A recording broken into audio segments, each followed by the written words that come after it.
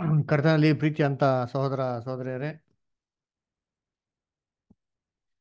ನಿಮ್ಮೆಲ್ಲರಿಗೂ ತಂದೆಯ ದೇವನಾಮದಲ್ಲೂ, ನಮ್ಮ ರಕ್ಷಕರು ಒಡೆಯನಾಗಿರೋಂಥ ಯೇಸು ಕ್ರಿಸ್ತು ನಾಮದಲ್ಲೂ ವಂದನೆಗಳು ಸಲ್ಲಿಸುತ್ತ, ದೇವರೊಂದು ಪ್ರೀತಿ, ದೇವರೊಂದು ಕರುಣೆ ಕೃಪೆಗಳಿಂದ ನಾವೆಲ್ಲರೂ ಒಟ್ಟಾಗಿ ಸೇರಿ ಆತನ ವಾಕ್ಯಗಳನ್ನ ಧ್ಯಾನ ಮಾಡೋದಕ್ಕೆ ದೇವ್ರು ಕೊಟ್ಟಂಥ ಒಂದು ಆಶೀರ್ವಾದಕ್ಕಾಗಿ, ದೇವ್ರು ಕೊಟ್ಟಂಥ ಒಂದು ಕೃಪೆಗಾಗಿ ನಾವು ದೇವ್ರಿಗೆ ತುಂಬ ಕೃತಜ್ಞತವಾಗಿದ್ದೀವಿ ಅಂದರೆ ಕರ್ತನಲ್ಲಿ ಪ್ರೀತಿ ಅಂತ ಸಹೋದರ ಸಹೋದರಿಗಳೇ ಕಳೆದ ಒಂದು ಸ್ವಲ್ಪ ಒಂದು ವಾರಗಳಲ್ಲಿ ನಮ್ಮ ಸಹೋದರು ಬರೆದಂಥ ಐದನೇ ವಾಲ್ಯೂಮ್ನ ನಾವೇನು ಮಾಡ್ತಾ ಇದ್ರಿ? ಧ್ಯಾನ ಮಾಡ್ತಾ ಬರ್ತಾ ಇದ್ರಿ. ಅದರಲ್ಲಿ ಮುಖ್ಯವಾಗಿ ಎರಡನೇ ಒಂದು ಚಾಪ್ಟರ್ ಅದರ ಎರಡನೇ ಚಾಪ್ಟರಲ್ಲಿ ಒಂದು ಏನ್ರಿ ತಂದೆ ದೇವ್ರ ಬಗ್ಗೆ ಅನೇಕ ವಿಚಾರಗಳನ್ನ ನಮ್ಗೆ ಏನು ಮಾಡ್ತಾಯಿದ್ರು ಅಲ್ಲಿ ಕೊಟ್ಟಿದ್ರು. ಅದನ್ನು ನಾವೇನು ಮಾಡ್ತಾ ಇದ್ರಿ? ನಾವು ಗಮನಿಸ್ತಾ ಬರ್ತಾ ಇದ್ರೆ ಅದನ್ನ ನಾವು ಓದ್ತಾ ಬರ್ತಾ ಇದ್ರೆ. ಆ, ನಾವು ಲಾಸ್ಟ್ ಟೈಮ್ ನೋಡ್ಬೇಕಾದ್ರೆ ಇಂಗ್ಲೀಷಲ್ಲಿ ಪೇಜ್ ನಂಬರ್ ಫಾರ್ಟಿ ತ್ರೀಗೆ ನಾವೇನು ಮಾಡಿದ್ರಿ? ನಿಲ್ಲಿಸಿದ್ರಿ ಕನ್ನಡದಲ್ಲಿ ಪೇಜ್ ನಂಬರ್ ಏಯ್ಟೀನ್ ಅದರಿಂದ ನಾವು ಈ ವಾರ ಏನು ಮಾಡೋಣ? ಅದನ್ನ ಹಂಗೆ ಕಂಟಿನ್ಯೂ ಮಾಡೋಣ? ಯಹೋವನು ಯೆಹೋವನು ತನ್ನ ಹೆಸರನ್ನು ಬೇರೆ ಹೆಸರುಗಳೊಂದಿಗೆ ಬೆರೆಸಿರುವುದು ಇದೊಂದೇ ಸಂದರ್ಭದಲ್ಲಿ ಮಾತ್ರವಲ್ಲ. ಅಬ್ರಹಾಮನು ಇಸಾಕನನ್ನು ಬಲಿ ಕೊಡಲು ಕರ್ಕೊಂಡು ಹೋಗಿದ್ದ ಆ ಬೆಟ್ಟದ ಘಟನೆಯನ್ನು ಗಮನಿಸೋಣ. ಅಲ್ಲಿ ದೇವರು ಅಬ್ರಹಾಮನಿಗೆ ಇಸಾಕನ ಬದಲಾಗಿ ಬಲಿ ಕೊಡಲು ಒಂದು ಟಗರನ್ನು ಒದಗಿಸಿಕೊಟ್ಟನು. ಆದುದರಿಂದ ಆ ಬೆಟ್ಟಕ್ಕೆ ಯಹೋವ ಈರೆ ಯಹೋವನ ಬೆಟ್ಟದಲ್ಲಿ ಒದಗುವುದು ಎಂಬ ಹೆಸರಾಯಿತು. ಆದಿಕಂಡ ಇಪ್ಪತ್ತೆರಡು ಹದಿನಾಲ್ಕು. ಮೋಶಿಯು ತಾನು ಕಟ್ಟಿದ ಯಜ್ಞವೇದಿಯೊಂದಕ್ಕೆ ಯಹೋವ ನಿಸ್ಸಿ ಅಂದರೆ ಯಹೋವನ ನಮ್ಮ ಯಹೋವನ ನಮ್ಮ ಜಯಧ್ವಜ ಎಂದು ಹೆಸರಿಟ್ಟನು. ವಿಮೋಚನ ಕಾಂಡ ಹದಿನೇಳು, ಹದಿನೈದು. ಗಿದ್ಯೋನನು ಮತ್ತೊಂದು ಯಜ್ಞವೇದಿಯನ್ನು ಕಟ್ಟಿಸಿ ಅದಕ್ಕೆ ಯಹೋವಾ ಶಾಲೋಮ್ ಅಂದರೆ ಕರ್ತನು ಸಮಾಧಾನಪ್ರದನು ಎಂಬ ಹೆಸರಿಟ್ಟನು. ನ್ಯಾಯಾಧಿಪತಿಗಳು ಆರು ಇಪ್ಪತ್ತ್ಮೂರು ಮತ್ತು ಇಪ್ಪತ್ನಾಲ್ಕು.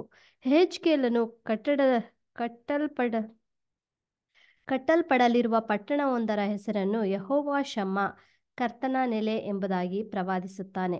ಹೆಜ್ಕೇಲ ನಲವತ್ತೆಂಟು ಮೂವತ್ತೈದು.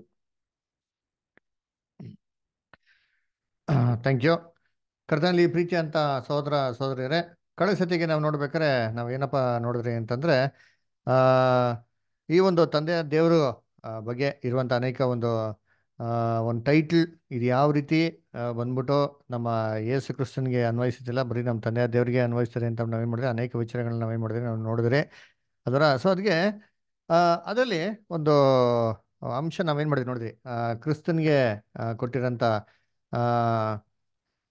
ಒಂದು ಟೈಟಲ್ ಅದನ್ನು ಯಾವ ರೀತಿ ಇದೆ ಅಂತ ನಾವು ಏನು ಮಾಡಿದ್ರಿ ನಾವು ಅದನ್ನ ನೋಡಿದ್ರಿ ಅಲ್ವರ ಸೊ ಅದಕ್ಕೆ ನಾವು ನೋಡ್ಬೇಕಾರೆ ನೋಡ್ಬೇಕಾದ್ರೆ ಏನಪ್ಪ ನೋಡಿದ್ರೆ ಜೀಸಸ್ ಕ್ರೈಸ್ಟಿಗೆ ಸಭೆಗೆ ಅವ್ರು ನಂಬಿಕಸ್ಥರಾಗಿದ್ದಾರೆ ದೇವರ ಕೃಪೆಯಿಂದ. ಅವ್ರಿಗೆ ಯಾವ ಥರ ಟೈಟ್ಲ್ ಕೊಡ್ತಾರೆ ಅಂದರೆ ಏನ್ರಿ ಜಹೋವ ತಿಸ್ಕೇನು ಅಂತಂದ್ಬಿಟ್ಟು ಅವ್ನು ಹೆಸರು ಕೊಡ್ತಾನೆ ಏನಂತಾರೆ ಯಹೋವನೇ ನಮ್ಮ ನೀತಿವಂತನು ಅಂತ. ಅಂದರೆ ಆ, ಈ ನೀತಿವಂತಿಕೆ ಆಧಾರ ನಮ್ಮ ಕರ್ತನೆ ತನ್ನ ದೇವರೇ ಅಂತಂದ್ಬಿಟ್ಟು ಇದನ್ನ ನಾವು ಏನು ಮಾಡಿದ್ರಿ ಲಾಸ್ಟ್ ಮಾಡಿದ್ರೆ ಏನಂತಂದ್ರೆ ಯಾವ ರೀತಿ ಮದುವೆ ಆಗಿದ್ಮೇಲೆ ಹೆಂಡ, ಹೆಂಡತಿಗೆ ಗಂಡನ ಹೆಸರನ್ನ ಜೋಡಣೆ ಮಾಡ್ತಾರೆ ಆ ರೀತಿ ಏನು ಮಾಡ್ತಾ ಇರ್ತಾರೆ? ಜೋಡಣೆ ಮಾಡೋದು ಕೂಡ ನೋಡಿದ್ರೆ. ಸೊ ಇದೇ ರೀತಿ ಈ ಜಹೋವಾ ಅಂತಂದ್ಬಿಟ್ಟು ಈ ಪದನ, ಈ ಒಂದು ಟೈಟಲ್ ಅಂತೇನಿದೆಯೋ, ಇದು ನಾಮ ಅಥವಾ ಹೆಸರು ಅಂತ ಹೇಳೋದಕ್ಕಿಂತ ಈ ಟೈಟ್ಲ್ಗಳನ್ನ ಅನೇಕ ಒಂದು ವಸ್ತುಗಳು ಅಥವಾ ಅನೇಕ ವಿಚಾರಗಳು ಕೂಡ ಏನು ಮಾಡಿದ್ರೆ ಹೇಳಿದರೆ ಅಲ್ವರ, ಅದನ್ನ ನಾವು ಎಕ್ಸಾಂಪಲ್ ನೋಡಿದ್ರಿ ವಾಲ್ಯೂಮ್ ನೋಡ್ಬೇಕಾದ್ರೆ ಮೊದಲನೇದಾಗಿ ಏನಪ್ಪ ಹೇಳ್ತಾರೆ ಅಂದ್ರೆ, ಆದಿಕಾಂಡ ಇಪ್ಪತ್ತೆರಡು ಹದಿನಾಲ್ಕಲ್ಲಿ ಅಬ್ರಹಾಮು ಏನ್ ಮಾಡ್ತಾನೆ, ಆ ಒಂದು ದೇವರು, ಆ ಟಗರ್ನ ಒದಿಸ್ಕೊಡ್ತಾರೆ ಗೊತ್ತಾ? ಆ ಪರ್ವತದ ಮೇಲೆ. ಅಲ್ಲಿ ಹೋಗಿ ಬಲಿನ ಅವ್ರು ಕೊಡ್ಬೇಕಾದ್ರೆ, ಅಲ್ಲಿ ಏನಪ್ಪ ಆಗ್ತಾರೆ ಅಂತ ನೋಡ್ತೀರಿ ಅಂತಂದ್ರೆ ಇಸಾಕನ ಬಲಿ ಕೊಡೋಕೆ ಹೋಗ್ತಾರೆ. ಆ ಇಸಾನಕ್ಕೆ ಬಲಿ ಕೊಡೋಂಥ ಟೈಮಲ್ಲಿ ದೇವದೂತ ಬಂದು ಏನು ಮಾಡ್ತಾರೆ? ಅದನ್ನ ಸ್ಟಾಪ್ ಮಾಡ್ತಾರೆ. ಆವಾಗ ಆ ದೇವದೂತನಿಗೆ ಬದಲಾಗಿ ಏನಪ್ಪ ಮಾಡ್ತಾರೆ ಅಂತ ನೋಡ್ತೀರಿ ಅಂತಂದ್ರೆ ಸಾರಿ ಐ ಮೀನ್ ಇಸಾಕನಿಗೆ ಬದಲಾಗಿ ಅಲ್ಲಿ ನಾವು ಏನು ಮಾಡೋದಪ್ಪ ನೋಡ್ತೀರಿ ಅಂತಂದ್ರೆ ಇವ್ರನ್ನ ಬಲಿ ಕೊಡೋದು ನೋಡ್ತೀರಿ. ಒಂದು ಟಗರುನ, ಆ ಟಗರು ಎಲ್ಲಿ ಇತ್ತು ಅಂತಂದ್ರೆ, ಆ ಪೊದೆ ಒಳಗೆ ಏನಾಗಿತ್ತು? ಔಸ್ಕೊಂಡಿತ್ತು ಅಂತ ನೋಡ್ತೀರಿ. ಆವಾಗ ಅಬ್ರಾಮ್ ಅಂತ ಅಂತಾರೆ? ಓದನ ಆದಿಕಾಂಡ ಇಪ್ಪತ್ತೆರಡು ಹದಿನಾಲ್ಕು. ಬ್ರದರ್ ಆ ಸ್ಥಳಕ್ಕೆ ಯಹೋವ ಈರೆ ಎಂದು ಹೆಸರಿಟ್ಟನು. ಯಹೋನ ಬೆಟ್ಟದಲ್ಲಿ ಒದಗುವುದು ಎಂಬುದಾಗಿ ಇಂದಿನವರೆಗೂ ಹೇಳುವುದುಂಟಲ್ಲ. ನೋಡ್ರ ಯಹೋನ ಬೆಟ್ಟದಲ್ಲಿ ಅಂತ ಅಂದ್ಬಿಟ್ಟು ಹೇಳ್ತಾ ಇದ್ರ ಅಂದ್ರೆ ಯಹೋವ ಈರೆ ಅಂತ ಏನ್ ಮಾಡ್ತಾರೆ ಅಲ್ಲಿ? ಅಲ್ಲಿ ಹೇಳ್ತಾರೆ ಅಲ್ವರ? ಸೊ ಯಹೋವ ಈರೆ ಅಂತ ಆ ಸ್ಥಳಕ್ಕೆ ಏನ್ ಮಾಡ್ದಂತೆ? ಇಟ್ರ ನಂಗ್ರೆ ಆ ಸ್ಥಳ ಜೋಹೋ ಆಗ್ಬಿಟ್ರಾ? ಅಂತಂದ್ರೆ ಇಲ್ಲ ರೀ. ಅದರ ನೋಡ್ರಿ, ಅದೇ ಹೇಳ್ತಾರೆ ಒಂದು ಸ್ಥಳಕ್ಕೆ ಏನ್ರಿ? ಜಹೋವಾ, ಯಹೋವಾ ಅಂತ ಹೆಸರಿಟ್ರಿ. ಹಂಗ್ರೆ ಆ ಸ್ಥಳ ದೇವ್ರಾಗ್ಬಿಟ್ರಾ ಅಂದ್ರೆ ಇಲ್ಲ. ಅದರ ಅದರ್ಥ ಏನಪ್ಪ ಅಂದ್ರೆ ದೇವ್ರು ಏನ್ ಮಾಡಿದ್ರು ಈ ಸ್ಥಳದಲ್ಲಿ ಒದಿಸ್ಕೊಟ್ರು ಅಂತ ಅರ್ಥ. ಸೊ ನೋಡಿ ಅಲ್ಲಿ ಸಂಗತಿಗಳಿಗೆ ಮತ್ತು ವಸ್ತುಗಳಿಗೆ ಎಂತಾರೆ ದೇವರ ಒಂದು ನಾಮವನ್ನು ಇಟ್ಟಿರೋದನ್ನ ಏನು ಮಾಡ್ತೀವಿ ನೋಡ್ತೀರಿ? ಇನ್ನೊಂದು ಕಡೆ ಓದ್ಬೇಕಾರೆ ನೋಡಿ ಮೋಸಸ್ ಹೇಳ್ತಾರೆ. ವಿಮೋಚನಾ ಕಂಡ ಹದಿನೇಳನೇ ಅಧ್ಯಾಯ ಹದಿನೈದನೇ ವಾಕ್ಯ ಎಕ್ಸೋಡಸ್ ಸೆವೆಂಟೀನ್ ಫಿಫ್ಟೀನ್ ಆ ಸ್ಥಳದಲ್ಲಿ ಮೋಶೆಯು ಯಜ್ಞವೇದಿಯನ್ನು ಕಟ್ಟಿಸಿ ಅದಕ್ಕೆ ಯಹೋವಾ ನಿಸ್ಸಿ ಎಂದು ಹೆಸರಿಟ್ಟು ಯಾಹುವಿನ ಸಿಂಹಾಸನದ ಆಣೆ ಅಮಲೇಕ್ಯರ ಮೇಲೆ ಯಹೋವನಿಗೆ ತಲತಲಾಂತರಕ್ಕೂ ಯುದ್ಧವಿರುವುದು ಅಂದನು. ಬಲಿಪೀಠ ಕಟ್ಬಿಟ್ಟು ಆ ಬಲಿಪೀಠಕ್ಕೆ ಏನ್ ಮಾಡ್ತಾರೆ? ಹೆಸರು ಕೊಡ್ತಾರೆ ಏನಂದ್ರೆ ಯಹೋವ ನಿಸಿ ಅಂತ ಏನ್ ಮಾಡ್ತಾರೆ ಅಲ್ಲಿ ಹೆಸರು ಕೊಡ್ತಾರೆ ನೋಡ್ರ ಬಲಿಪೀಠಕ್ಕೆ ಹಂಗಾರೆ ಬಲಿಪೀಠ ದೇವರಾಗೋಯ್ತಾ ಅಂದ್ರೆ ಇಲ್ಲ ರೀ ಅಲ್ವರ ನೋಡ್ರಿ ಅಲ್ಲಿ ಏನ್ರಿ ಈ ಒಂದು ಏನ್ರಿ ಸ್ಥಳದಲ್ಲಿ ದೇವರಿಗೆ ಬಲಿ ಸಲ್ಲಿಸೋದಿಕ್ಕೆ ಅದು ಕೃಪೆ ಕೊಟ್ಟವರು ಯಾರಪ್ಪ ದಯೆ ಕೊಟ್ಟವ್ರು ಯಾರಪ್ಪ ಅಂತಂದ್ರೆ ಅದನ್ನ ಅವಕಾಶ ಮಾಡಿಕೊಟ್ಟವ್ರು ಯಾರಪ್ಪ ಅಂತಂದ್ರೆ ದೇವರು ಅಲ್ಲಿ ಯುದ್ಧದಲ್ಲಿ ಜಯ ಕೊಟ್ಟವ್ರು ಯಾರು ದೇವರು ಅದನ್ನ ಆ ಒಂದು ಏನ್ರಿ? ಆ ಒಂದು ಯಜ್ಞ, ಅಲ್ಲಿ ದೇವರಿಗೆ ಸಲ್ಲಿಸಂತ ಎಲ್ಲ ಒಂದು ಬಲಿ ಏನಿತ್ತೋ, ಇದು ಯಾರಿಗೆ ಸಲ್ಲತಕ್ಕದ್ದು ಅಂತಂದ್ರೆ, ಏನ್ರಿ, ದೇವರಿಗೆ ಸಲ್ಲತಕ್ಕದ್ದು ಅಂತ ಹೇಳ್ತಾರೆ ಅಂದ್ರೆ ಅದಕ್ಕೆ ನೋಡ್ಬೇಕಾದ್ರೆ ಇವಾಗ ಇದು ಹೇಗೆ ಅಂತಂದ್ರೆ ನೋಡಿ, ಆ ಇಸ್ರೇಲ್ ಜನಗಳು ಐಗುಪ್ ದೇಶದಿಂದ ಬಿಡುಗಡೆ ಆಗಿ, ಕಾನಾನ್ ದೇಶಕ್ಕೆ ಬರ್ಬೇಕಾದ್ರೆ ಏನು ಮಾಡ್ತಾರೆ, ನಡುವೆ ಅಂದ್ಬಿಟ್ಟು ಅಲ್ಲಿ ಚಿಣ್ಣದ ಬಸವ ಮಾಡಿ ಅದಕ್ಕೆ ಏನು ಮಾಡ್ತಾರೆ, ಆರಾಧನೆ ಮಾಡಕ್ಕೆ ಏನು ಮಾಡ್ತಾರೆ, ಅದು ಶುರು ಮಾಡ್ತಾರೆ, ಅಲ್ವರ? ಸೊ ಅವಾಗ ದೇವ್ರು ಬಂದು ಏನು ಮಾಡ್ತಾರೆ, ಅವ್ರಿಗೆ ಖಂಡಿಸ್ತಾರೆ. ಯಾಕಪ್ಪ ಅಂತಂದ್ರೆ ಇವರು ದೇವ್ರು ಕೊಟ್ಟಂತ ಎಲ್ಲ ಆಶೀರ್ವಾದಗಳನ್ನ ದೇವ್ರು ಕೊಟ್ಟಂತ ಎಲ್ಲ ತಲಾಂತ್ಗಳನ್ನ ದೇವ್ರು ಕೊಟ್ಟಂತ ಎಲ್ಲ ಹಣಕಾಸು, ಅಭಿವೃದ್ಧಿ, ಐಶ್ವರ್ಯ ಇದನ್ನೆಲ್ಲ ಏನು ಮಾಡೋದಂದ್ರೆ, ಆ ಒಂದು ವಿಗ್ರಹನ ಮಾಡಿ, ಆ ವಿಗ್ರಹಕ್ಕೆ ಏನು ಮಾಡಿದ್ರು ಅಲ್ಲಿ ಅಲ್ಲಿ ಸ್ಪೆಂಡ್ ಮಾಡ್ತಾ ಇದ್ರು. ಅಲ್ಲ ಕಾಲಗಳನ್ನ ಸ್ಪೆಂಡ್ ಮಾಡಿದ್ರು, ದೇವ್ರು ಕೊಟ್ಟಂತ ಆಶೀರ್ವಾದಗಳನ್ನ ಸ್ಪೆಂಡ್ ಮಾಡಿದ್ರು, ದೇವ್ರಿಗೆ ಸಲತಕ್ಕ ಸ್ತುತಿ ಸ್ತೋತ್ರಗಳೆಲ್ಲ ಏನು ಮಾಡಿದ್ರು, ಅದಕ್ಕೆ ಏನು ಮಾಡಿದ್ರು, ಖರ್ಚು ಮಾಡಿದ್ರು. ಸೊ ಇದೇನಾಯ್ತು ಅಂದರೆ, ಆ ವಿಗ್ರಹ ಒಂದು ದೇವರ ಸ್ಥಾನ ಏನು ಮಾಡ್ತು, ತಗೊಂಡ್ಬಿಡ್ತು. ಅಲ್ರ ಸೊ ಅದಕ್ಕೆ ಏನು ಮಾಡ್ತಾರೆ, ಇದನ್ನ ಸ್ಟಾಪ್ ಮಾಡಿಸ್ತಾರೆ. ಅಂದ್ರೆ ಆಮೇಲೆ ಬಲಿಪೀಠನ ಕಟ್ಟಿಸ್ತಾರೆ. ಅಂದ್ರೆ ಬಲಿಪೀಠದ ಮೇಲೆ ಒಂದು ಯಜ್ಞನ ಕೊಟ್ಟು ಇದೆಲ್ಲವೂ ದೇವರಿಗೆ ಅಂತ ಸಲ್ಲಿಸ್ಬೇಕಾದ್ರೆ ಅದೇನಪ್ಪ ಸೂಚನೆ ಮಾಡ್ತಾರೆ ಅಂದ್ರೆ, ಏನ್ರಿ, ನಾವು ಯಾವುದಕ್ಕೆ ಮುಖ್ಯತ್ವ ಕೊಡ್ತಾ ಇದ್ದೀರೋ, ಅದು ಏನಪ್ಪ ಆಗಿರ್ತದೆ ಅಂತಂದ್ರೆ ನಮ್ಮ ಒಂದು ಬಲಿಪೀಠವಾಗಿರ್ತದೆ. ಅಲ್ಲರ ನಾವು ಮಾಡೋಂಥ ತ್ಯಾಗವಾಗಿರ್ತಾರೆ ಅಥವಾ ನಮ್ದು ಒಂದು ಏನಾಗಿರ್ತಾರೆ ಒಂದು ವಿಗ್ರಹ ಥರ ಆಗಿರ್ತದೆ ಅಂತಂಬಿಟ್ಟದ್ರ ಇವಾಗ ನಾವು ಅಧಿಕವಾಗಿ ಬರೀ ಲೋಕದ ವಿಚಾರಗಳಿಗೆ ಮನಸ್ಸು ಕೊಡ್ತಾ ಇದ್ರೆ ಏನಪ್ಪಾ ಆಗ್ತಾ ಅಂದ್ರೆ ಅದು ನಮ್ಮ ವಿಗ್ರಹ. ಅದೇ ನಮ್ಮ ಬಲಿಪೀಠ. ಯಾಕಂದ್ರೆ ನಾವು ಟೈಮ್ ಅಧಿಕವಾಗಿ ಯಾವ್ದಕ್ಕೆ ಕೊಡ್ತಾ ಇದ್ದೀರಿ? ಅದಕ್ಕೆ ಕೊಡ್ತಾ ಇದ್ದೀರಿ ಮಾಡಲ್ಲ ಇದು ಇಲ್ಲಿ ಏನಂದ್ರೆ ಮೋಸಸ್ ಏನು ಮಾಡ್ತಾರೆ ಅಂದ್ರೆ ಈ ಸ್ಥಳ ಏನ್ರಿ, ಇದರಲ್ಲಿ ಎಲ್ಲ ಒಂದು ಕಾರ್ಯಗಳು, ಎಲ್ಲ ಒಂದು ಮಹಿಮೆ ದೇವರಿಗೆ ಸಲ್ಲತಕ್ಕದ್ದು ಅಂತಂದ್ಬಿಟ್ಟು ಏನು ಮಾಡ್ತಾರೆ? ಆ ಒಂದು ಬಲಿಪೀಠಕ್ಕೆ ಏನು ಮಾಡ್ತಾರೆ? ಏನ್ರಿ, Jehovah Nissi the banner of Jehovah ಅಂತ ಏನು ಮಾಡ್ತಾರೆ? ಹೆಸರಿಡ್ತಾರೆ. ಅಲ್ವರ? ಸರಿಪ್ಪ ಇವಾಗ, ಹ್ಮ್ ನೋಡಿ, ಬಲಿಪೀಠಕ್ಕೆ ಹೆಸರಿಟ್ರು ಪರ್ವತಕ್ಕೆ ಏನು ಮಾಡಿದ್ರು ಹೆಸರಿಟ್ರು ಇನ್ನೊಂದು ಕಡೆ ನೋಡೋಣ. ನ್ಯಾಯಸ್ಥಾಪಕರು, ಆರನೇ ಅಧ್ಯಾಯ ಇಪ್ಪತ್ತ್ಮೂರು ಇಪ್ಪತ್ನಾಲ್ಕು.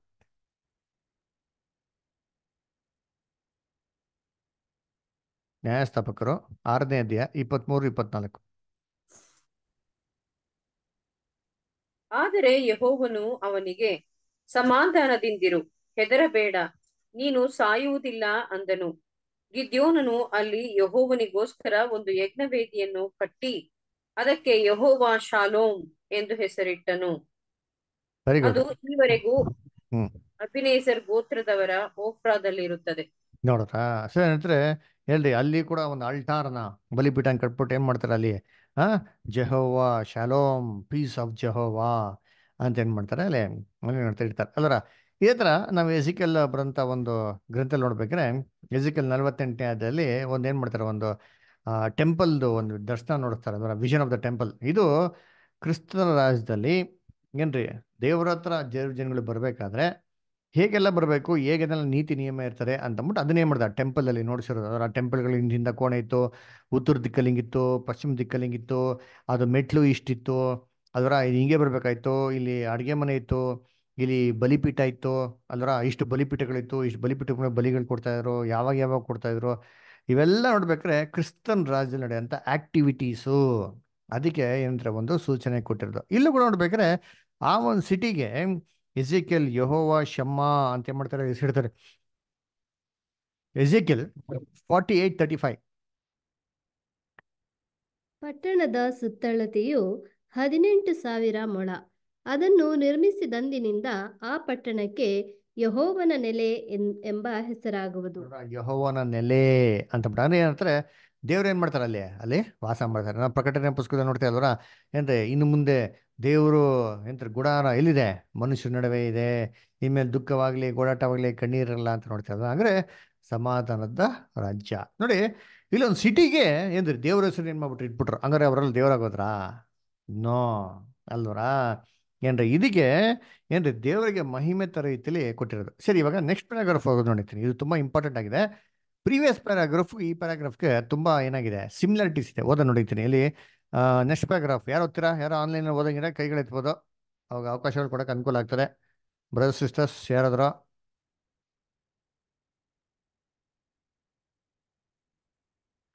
ಓಕೆ ನಿರ್ಮಲಾ ಸ್ಟರ್ ಓದ್ತೀರಾ?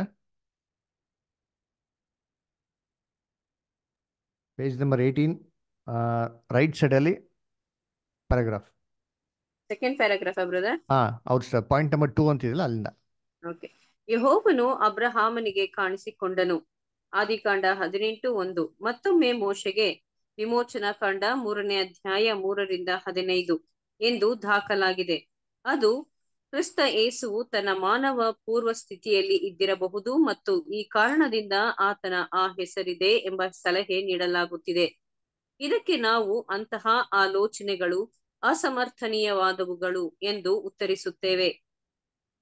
ಆ ಹೆಸರನ್ನು ಯಾರಿಗಾದರೂ ಅನ್ವಯಿಸಿದಾಗ ಆ ಸೇವಕನು ಯಹೋವನ ಅತಿಯಾದ ಮೆಚ್ಚುಗೆಗೆ ಪಾತ್ರನಾಗಿದ್ದನು ಮತ್ತು ಆ ಸಂದರ್ಭದಲ್ಲಿ ಆತನನ್ನು ಯಹೋವನ ಪ್ರತಿನಿಧಿಯಾಗಿ ಮನೆವಾರ್ತೆಯವರಂತೆ ನಡೆಸಿಕೊಳ್ಳಲಾಯಿತು ಮತ್ತು ಆತನು ದೈವಿಕ ಶಕ್ತಿಯನ್ನು ಪ್ರಯೋಗಿಸುವಂತೆ ಆತನಿಗೆ ಅಧಿಕಾರ ನೀಡಲಾಯಿತು ಎಂದರ್ಥ.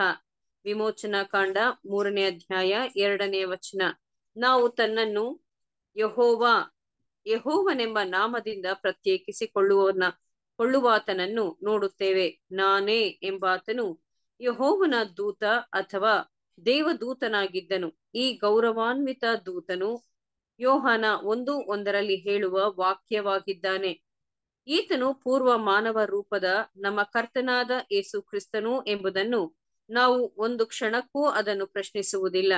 ಆದರೆ ಈ ಅತ್ಯಂತ ಶ್ರೇಷ್ಠನೂ ಗೌರವಾನ್ವಿತನೂ ಆದ ದೂತನನ್ನು ಆತನು ಪ್ರತಿನಿಧಿಸುವಾತನೊಂದಿಗೆ, ಅಂದರೆ ಯಾರ ಹೆಸರಿನಲ್ಲಿ ಆತನು ಮಾತನಾಡಿದನೋ, ಯಾರ ಶಕ್ತಿಯನ್ನು ಆತನು ಮೋಶೆಗೆ ಅನುಗ್ರಹಿಸಿಕೊಟ್ಟನೋ, ಆತನೊಂದಿಗೆ ಬೆರಕೆ ಮಾಡಲಾಗದು.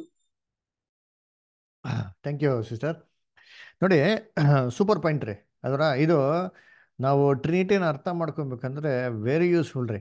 ಯಾಕಂದ್ರೆ ಇಲ್ಲಿ ಕೊಟ್ಟಿರೋಂಥ ವಚನಗಳು ವೆರಿ ಕನ್ಫ್ಯೂಸಿಂಗ್ ಅಲ್ದರ ನೋಡಿ, ಎಷ್ಟು ಚೆನ್ನಾಗಿದೆ, ಓದೋಣ ಅಂತೀನಿ. ಆದಿಕಾಂಡ ಹದಿನೆಂಟು ಒಂದು ಓದ್ರಿ. ಅಬ್ರಾಮನು ಮಧ್ಯಾಹ್ನದಲ್ಲಿ ಮಮ್ರೆ ತೋಪಿನ ತೋಪಿನ ತನ್ನ ಗುಡಾರದ ಬಾಗಿಲಲ್ಲಿ ಕೂತಿದ್ದರು. ಕೂತಿರುವಾಗ ಯೋಹವನು ಅವನಿಗೆ ದರ್ಶನ ಕೊಟ್ಟನು. ಹಾ ನೋಡ್ರಿ ಇಲ್ಲಿ ಯಹೋವನು ದರ್ಶನ ಕೊಟ್ರು ಅಂತಿದೆ. ಅಲ್ವರ?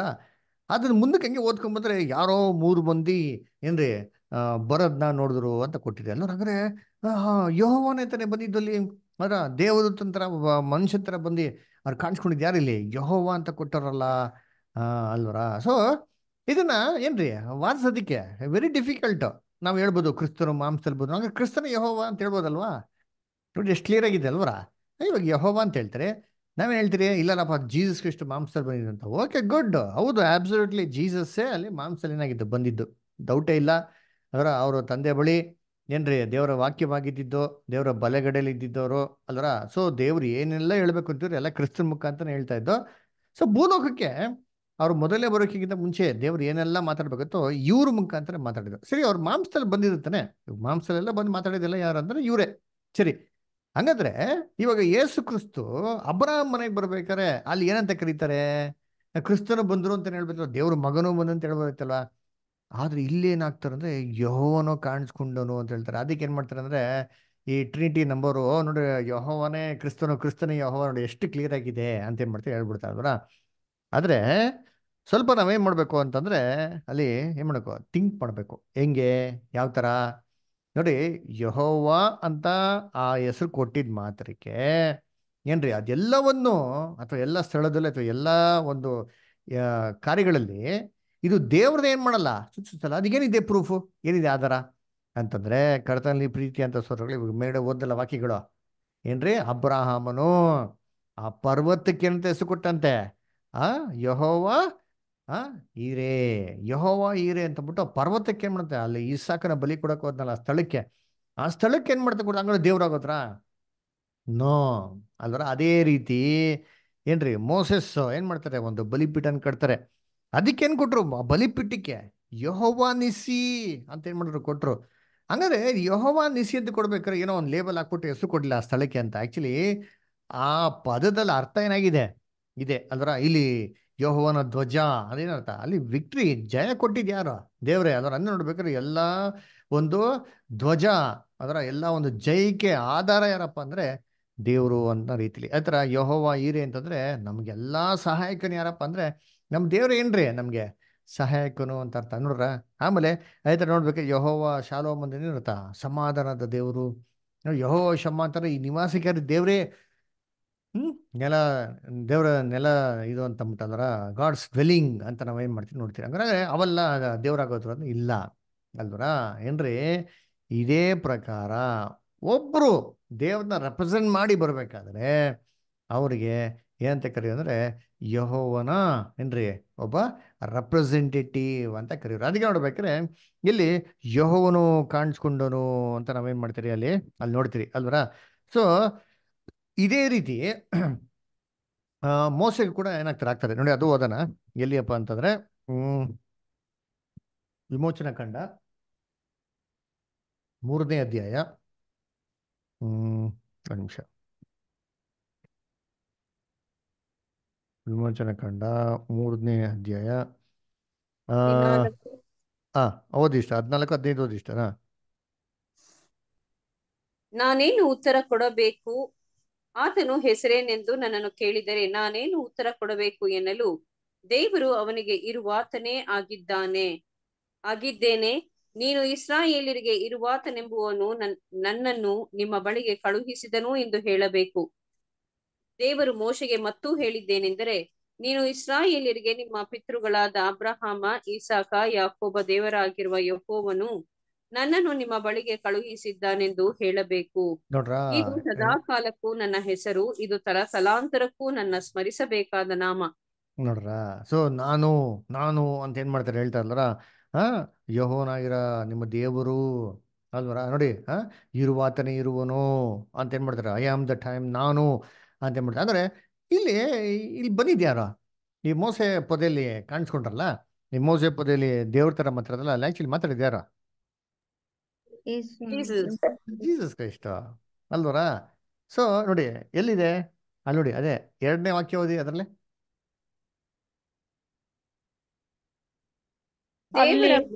ಅಲ್ಲಿ ಮುಳ್ಳಿನ ಪೊದೆಯೊಳಗೆ ಉರಿಯುವ ಬೆಂಕಿಯಲ್ಲಿ ಯಹೋವನ ದೂತನು ಅವನಿಗೆ ಕಾಣಿಸಿಕೊಂಡನು. ಹೇಗೆಂದರೆ ಅವನು ಒಂದು ಮುಳ್ಳಿನ ಪೊದೆಯನ್ನು ಕಂಡನು. ಆ ಪೊದೆಯು ಬೆಂಕಿಯಿಂದ ಉರಿಯುತ್ತಿದ್ದರೂ ಅದು ಸುಡ ಸುಟ್ಟು ಹೋಗದೇ ಇತ್ತು. ಆಗ ಮೋಶೆ ನಾನು ದಾರಿ ಬಿಟ್ಟು ಈ ಆಶ್ಚರ್ಯವನ್ನು ನೋಡಿ ಪೊದೆಯ ಸುಟ್ಟು ಹೋಗದೆ ಇರುವುದಕ್ಕೆ ಕಾರಣವನ್ನು ತಿಳಿಸ್ ತಿಳಿದುಕೊಳ್ಳುವೆನು ಅಂದುಕೊಂಡನು. ನೋಡ್ರ ಇಲ್ಲಿ ನೋಡ್ಬೇಕಾರೆ ಯಹೋವನ ದೂತನು ಅಂತ ಹೇಳ್ತಾರೆ. ಸರಿ ಆ ಯಹೋನ್ ದೂತ ಹೇಳ್ಬೋಯ್ತಲ್ಲ ನಾನು ಯಹೋನ್ ದೂತ ಯಹೋನ್ ದೂತ ಅಂತ ಹೇಳ್ಬೋಯ್ತಾರ ಅಂದ್ರೆ ಆ ಯಹೋವನ ದೂತ ಹಂಗೆ ಹೇಳ್ದಿರಾ?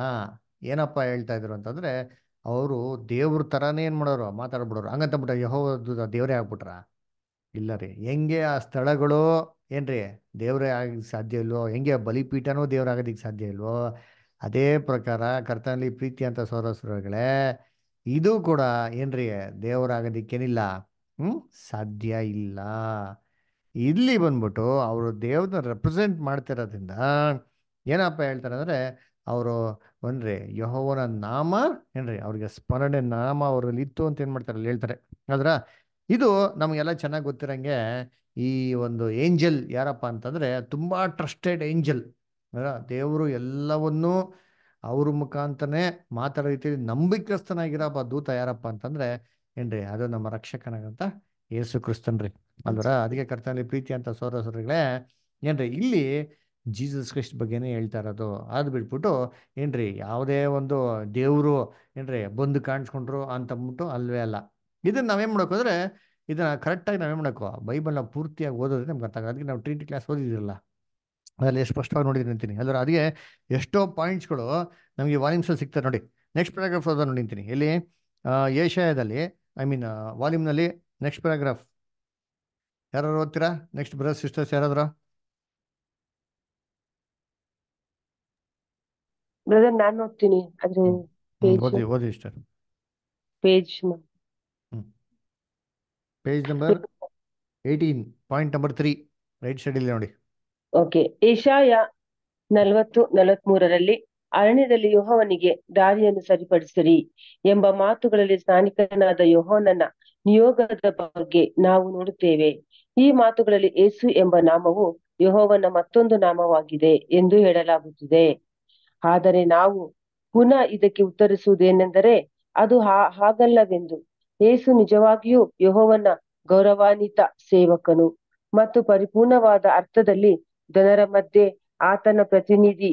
ಆದರೆ ಆತನೇ ಹೇಳುವಂತೆ ತಂದೆಯು ನನ್ನನ್ನು ಕಳಿಸಿಕೊಟ್ಟಿದ್ದಾನೆ ತಂದೆಯು ಹೇಳಿದ್ದನ್ನು ಕೇಳಿ ನ್ಯಾಯ ತೀರಿಸುತ್ತೇನೆ ನನ್ನಷ್ಟಕ್ಕೆ ನಾನು ಏನನ್ನೂ ಮಾಡುವುದಿಲ್ಲ. ತಂದೆಯು ನನಗಿಂತಲೂ ದೊಡ್ಡವನು. ನಾವು ಈ ದೂತನನ್ನು ನಂಬಬೇಕು. ನಿಜ ಸಂಗತಿ ಏನೆಂದರೆ ನಾವು ಈಗಾಗಲೇ ತೋರಿಸಿಕೊಟ್ಟಂತೆ ಸಂಪುಟ ಹನ್ನೊಂದು ಅಧ್ಯಾಯ ಎಂಟು ನೋಡಿರಿ. ಸ್ನಾನಿಕನಾದ ಯೋಹವನನ್ನು ಶ್ರೇಷ್ಠ ದೂತನೊಬ್ಬನೊಬ್ಬ, ನೊಬ್ಬನ ಪೂರ್ವ ಛಾಯೆಯಂತಿದ್ದಾನೆ.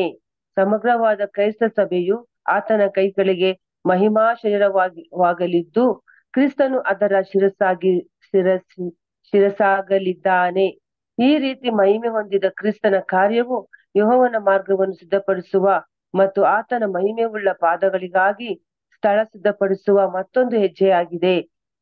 ಈ ಕಾರ್ಯವು ಮಿಲಿಯಾಂತರ ಯುಗದಲ್ಲಿ ಅಂತ್ಯಗೊಳ್ಳುವಾಗ ಈ ಪ್ರವಾದನೆಯು ಪೂರ್ಣವಾಗಿ ನೆರವೇರುವುದು. ಒಂದು ಕೊರಿಂತ ಹದಿನೈದು, ಇಪ್ಪತ್ನಾಲ್ಕರಿಂದ ಇಪ್ಪತ್ತೆಂಟು.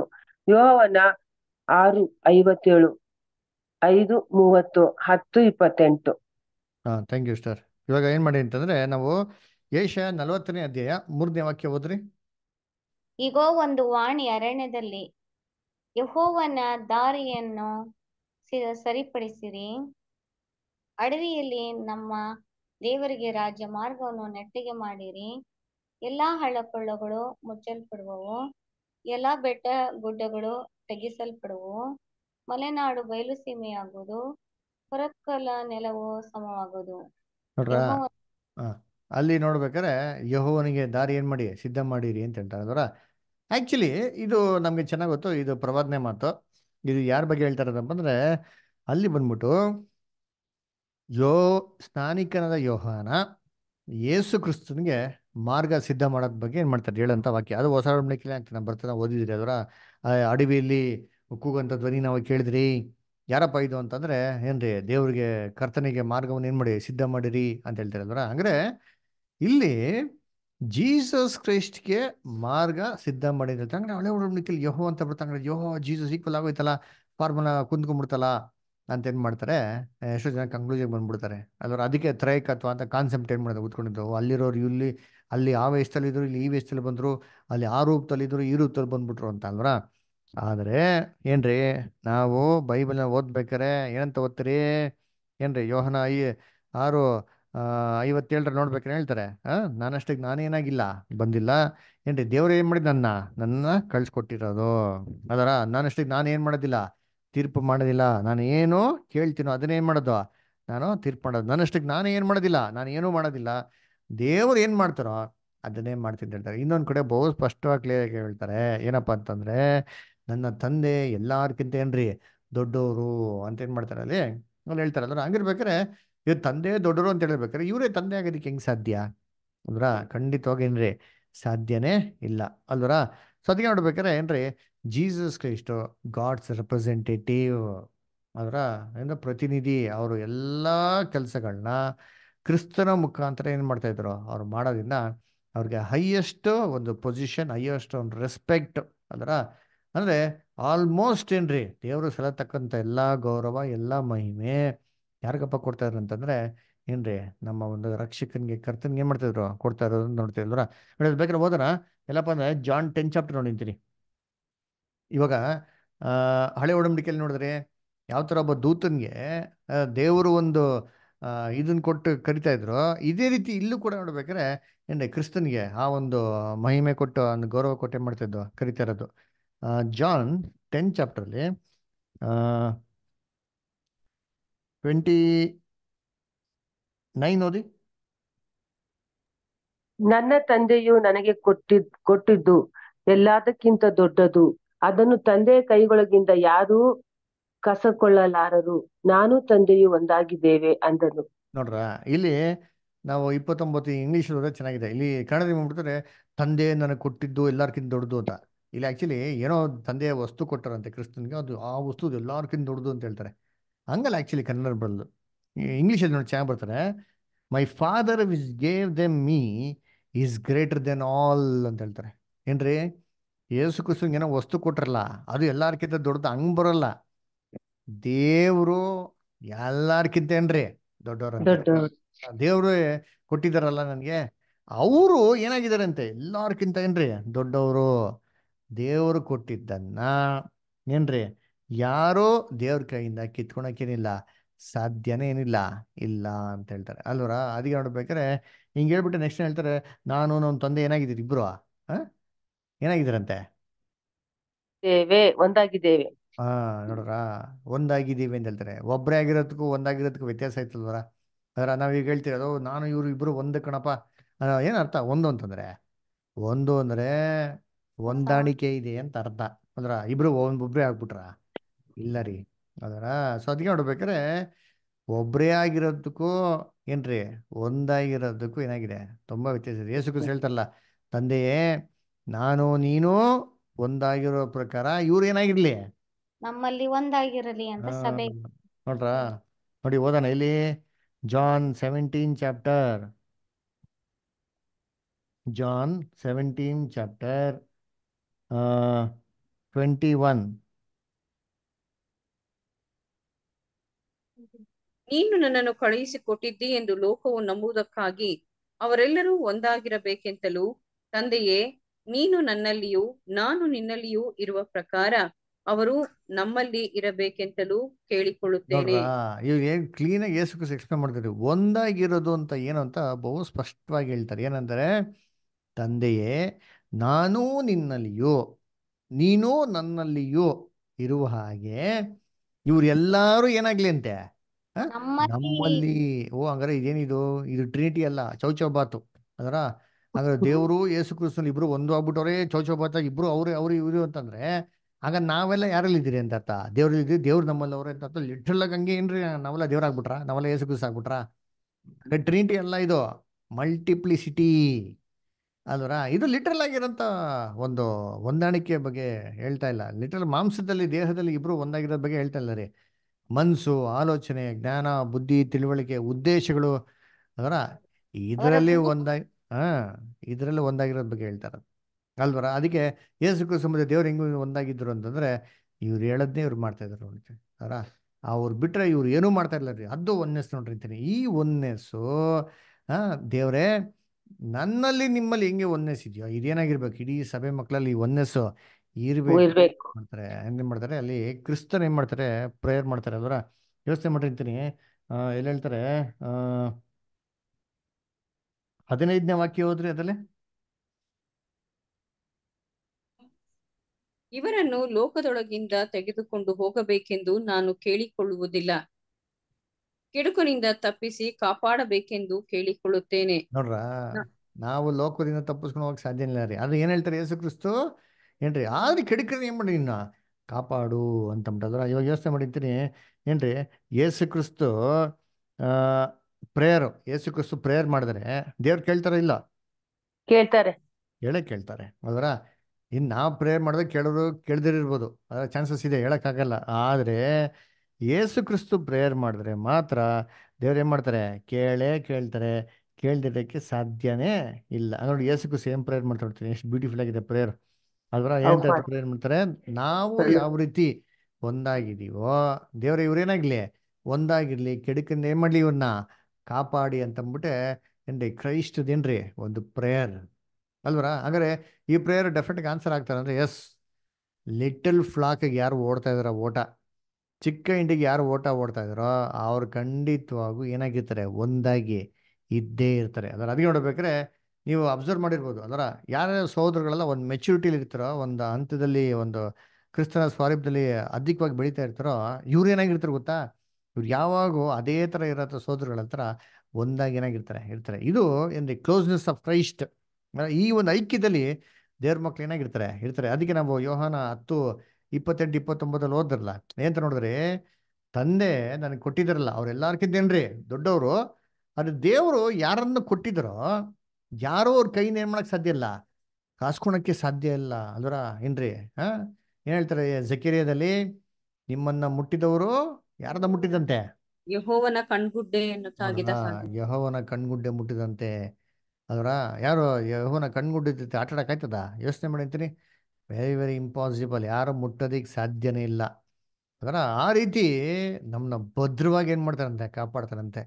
ಅದರ ಹಂಗಾರೆ ಇವಾಗ ದೇವ್ರ ಕೈಯಿಂದ ಯಾರು ಕಳ್ಸ್ಕೊಳಕ್ ಸಾಧ್ಯ ಇಲ್ಲ. ಅದರ ಆದರೆ ಒಂದು ಆಪ್ಷನ್ ಇದೆ. ಅದರ ದೇವ್ರ ಕೈಯಿಂದ ಹೆಂಗೆ ನಾವು ಕಳ್ಸ್ಕೊಬೋದು? ಇವಾಗ ಯಾರು ಕಿತ್ಕೊಳಕ್ ಸಾಧ್ಯ ಇಲ್ಲ. ಆದರೆ ನಾವಾಗ ನಾವೇ ಮಾಡೋದು? ಬಿಡಿಸ್ಕೊಂಡು ಹೋಗೋದಕ್ಕೆ ತುಂಬಾ ಚಾನ್ಸಸ್ ಇದೆ. ಅದು ದೇವ್ರು ಪರ್ಮಿಟ್ ಮಾಡ್ತಾರೆ. ಬಿಡಿಸ್ಕೊಂಡು ಹೋಗೋದಕ್ಕೆ ದೇವ್ರು ಏನು ಮಾಡ್ತಾರೆ? ಅನುಮತಿ ಏನು ಮಾಡ್ತಾರೆ? ಕೊಡ್ತಾರೆ. ಅದರ ಆವಾಗ ಏನಪ್ಪ ಅರ್ಥ ಅಂತಂದ್ರೆ ಏನ್ರಿ, ಆ ಒಂದು ಕೆಲಸಕ್ಕೆ ನಾವೇನ್ ಮಾಡ್ತಾ ಇಲ್ಲ ಅಲ್ಲಿ ಆ ಒಂದು ಕೊಂಬೆಗೆ ನಾವೇನಾಗಿಲ್ಲ. ಯೋಗ್ಯವಾಗಿರೋಂಥ ಒಂದು ಬಳ್ಳಿಗಳಾಗಿಲ್ಲ ಅಂತ ಅರ್ಥ. ಅಲ್ಲರ ಅದಕ್ಕೆ ಅಂತ ಬಳ್ಳಿನ ಏನು ಮಾಡ್ತಾರೆ? ಅಂದ್ರೆ ದೇವ್ರು ಏನು ಮಾಡ್ತಾರೆ? ಕಿತ್ತಾಕಿ ಬಿಡ್ತಾರೆ. ಅಲ್ಲರೂ ಅದಕ್ಕೆ ನೋಡ್ಬೇಕಾರೆ ನಾವು ಯುದ್ಧಾಸ್ ಬಗ್ಗೆ ನೋಡ್ಬೇಕಾರೆ ಏನಂತಾರೆ ಪಂಕ್ತಿಯಲ್ಲಿ ಯೇಸು ಕೃಷ್ಣ ಜೊತೆಗೆ ಏನು ಮಾಡ್ತಾರೆ? ಕೂತಿರ್ತಾರೆ ಅಲ್ವರ. ಸೇತಾನವನಲ್ಲಿ ಯಾವಾಗ ಒಕ್ಕಿದ ತಕ್ಷಣ ಕ್ರೈಸ್ಟಿಗೆ ಏನಾಗ್ತದೆ ಕ್ಲಿಯರ್ ಗೊತ್ತಾಗ್ಬಿಡೋದು ಏನು ಹೇಳ್ತಾರೆ? ನೀನು ಹೋಗಿ ಏನು ಮಾಡಬೇಕು ಅಂತ ಏನು ಮಾಡಿ ನೀನು? ಅತಿ ಶೀಘ್ರವಾಗಿ ಮಾಡು. ಅವಾಗ ಏನರ್ಥ ಅಂದ್ರೆ ಆ ಒಂದು ದೇವ್ರ ಕೈಯಿಂದ ಏನ್ರಿ ಅವರೇ ಏನ್ ಮಾಡ್ದಂಗೆ ಕಳ್ಸ್ಕೊಂಡು ಹೋದಂಗೆ. ಅಲ್ವರ ಅದಕ್ಕೆ ನೋಡ್ಬೇಕಾದ್ರೆ ಕರ್ತನಲ್ಲಿ ಪ್ರೀತಿ ಅಂತ ಸೊಳ್ಳೆ ಈ ಒನ್ನಸ್ಗೆ ಏನು ಮಾಡಿದೆ ಕ್ರೈಸ್ಟ್ ಪ್ರೇಯರ್ ಮಾಡೋದು ಅಲ್ವರ ಅದನ್ನ ನೋಡ್ಬೇಕಾದ್ರೆ ಇಲ್ಲಿ ಏನ್ರಿ ಕ್ರಿಸ್ತನ್ಗೆ ಆ ಒಂದು ಇದನ್ನ ಯೂಸ್ ಮಾಡ್ತೇವೆ ಅಂತ ಹೇಳಿದ ತಕ್ಷಣ ಏಷ್ಯಾದಲ್ಲಿ ಯಹೋನ್ಗೆ ಮಾರ್ಗ ಸಿದ್ಧ ಮಾಡೋದಂದ್ರೆ ಏನಪ್ಪಾ ಅಂದ್ರೆ ಕ್ರಿಸ್ತನ್ಗೆ ಅವ್ರು ರೆಪ್ರೆಸೆಂಟ್ ಕ್ರಿಸ್ತನ್ಗೆ ಮಾಡಿದ್ರಿ ಮಗನ. ಹ್ಮ್, ಸಿದ್ಧ ಮಾಡಿ. ಈ ಕೆಲಸನ ಯಾರು ಮಾಡಿದ್ರು? ಸ್ನಾನಿಕಂದ ಯೋಹನ ಏನ್ ಮಾಡಿದ್ರು? ಅಲ್ಲಿ ಮಾಡಿದ್ರು ಅಂತ ನೋಡ್ತೀರಿ. Okay next point point number four ಯಾರು ಓದ್ತೀರಾ? ಓದ್ಯರ ಸೋದ್ರ ಸೋದರಿಗಳು? ಅನಿತಾ ಸ್ಟರ್ ಇದರ ಅಲ್ಲಿ ಓದ್ತೀರಾ?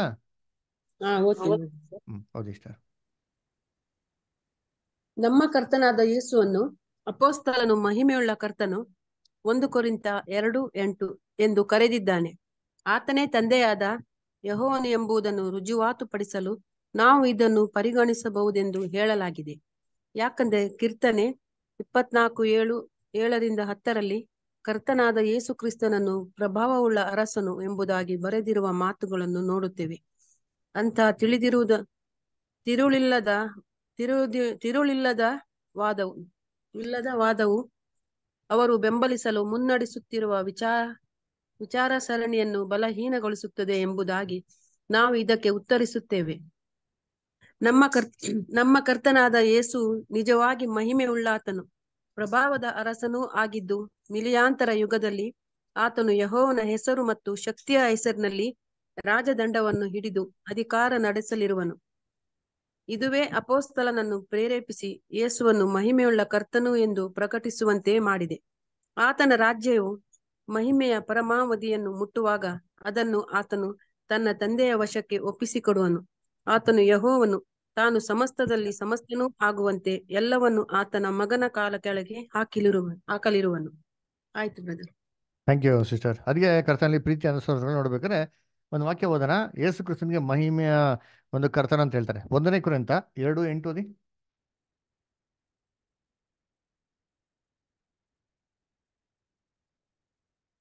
ಹ್ಮ್.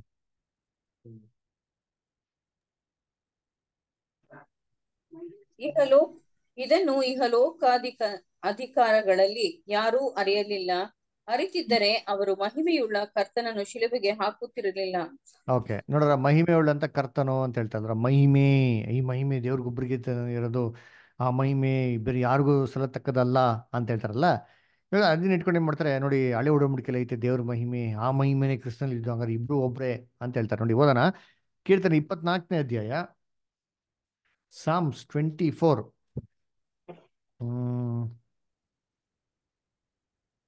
Psalms twenty four ಓದ್ರಿ ವಚನ ಹೇಳ್ರಿ. ಸೆವೆನ್ ಓ ಸಾರಿ ಏಳನೇ ವಾಕ್ಯ ಓದಿ. ಏ ಒಂಬತ್ತು ಓದ್ಬಿಡಿ ಸಾಕು. ದ್ವಾರಗಳ. ದ್ವಾರಗಳೇ ಉನ್ನತವಾಗಿರಿ ಪುರಾತನವಾದ ಕದಗಳೇ ತೆರೆದುಕೊಂಡಿರಿ. ಮಹಾಪ್ರಭಾವವುಳ್ಳ ಅರಸನು ಆಗಮಿಸುತ್ತಾನೆ. ನೋಡ್ರಾ ಮಹಾಪ್ರಭಾವ ಉಳ್ಳಂತ ಅರಸನು ಯಾರಿದ್ದು ಮಹಾಪ್ರಭಾವ ಉಳ್ಳಂತ ಅರಸನು ಅಂತ ಹೇಳ್ತಾರೆ. ಅಂದ್ರೆ who is this king of glory ಅಂದ್ರೆ ಮಹಿಮೆ ಅಂತ ಕರ್ತನ್ ಯಾರು? ಅಂದ್ರೆ ಅದೇ ಹೊಸ ಹುಡುಗರು ಹೊಟ್ರೆ ಮಹಿಮೆ ಅಂತ ಕರ್ತಾನೆ ಅಂತ ಜೀಸಸ್ ಕೃಷ್ಣ ಅಂದ್ರೆ ಇವ್ರೇ ಅವರು ಅಂತ ಅನ್ಬಿಡ್ತಾರೆ ಅವರ. ಆಕ್ಚುಲಿ ನೋಡ್ಬೇಕಾದ್ರೆ ಇಲ್ಲಿ ಕ್ರಿಸ್ತನಿಗೆ ಏನಕ್ಕೆ ಮಹಿಮೆ ಹೇಳುವಂತ ಕರ್ತನೋ ಅಂತ ಹೇಳೋದು ಅಂತ ನೋಡ್ಬೇಕಾದ್ರೆ ಏನ್ರಿ ಒಂದು ವಾಕ್ಯ ಓದೋಣ. ಎಲ್ಲಿಯಪ್ಪ ಅಂದ್ರೆ ಆ ರೋಮಾಪುರದಲ್ಲಿ one minute third chapter third ಚಾಪ್ಟರ್ಲಿ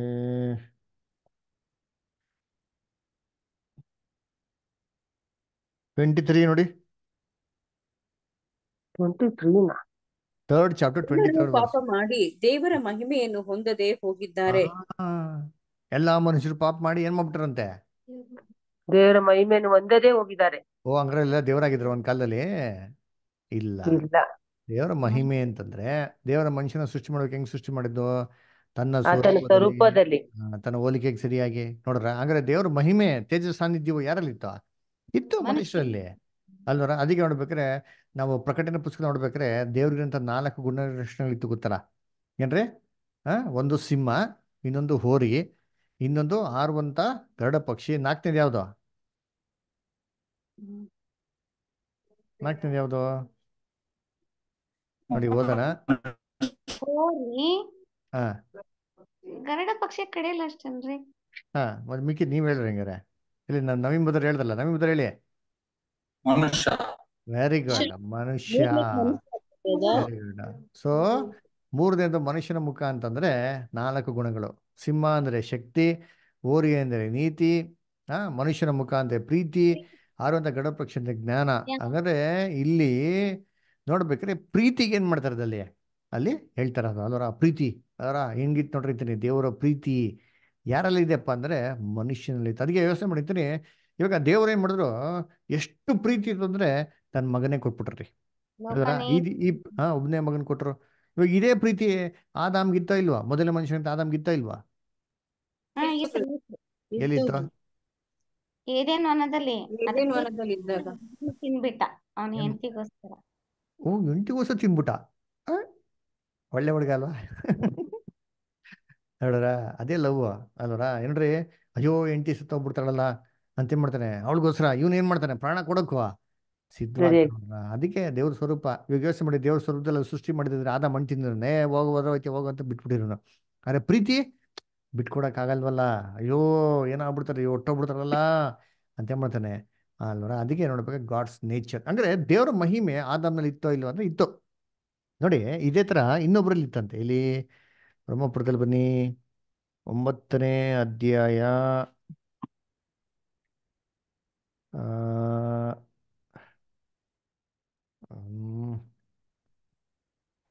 ನಾಲ್ ನಾಲ್ಕರಿಂದ ಓದಿ ಅಂತ ನೋಡೋಣ ನಾಲ್ಕು ಆ ನಾಲ್ಕು.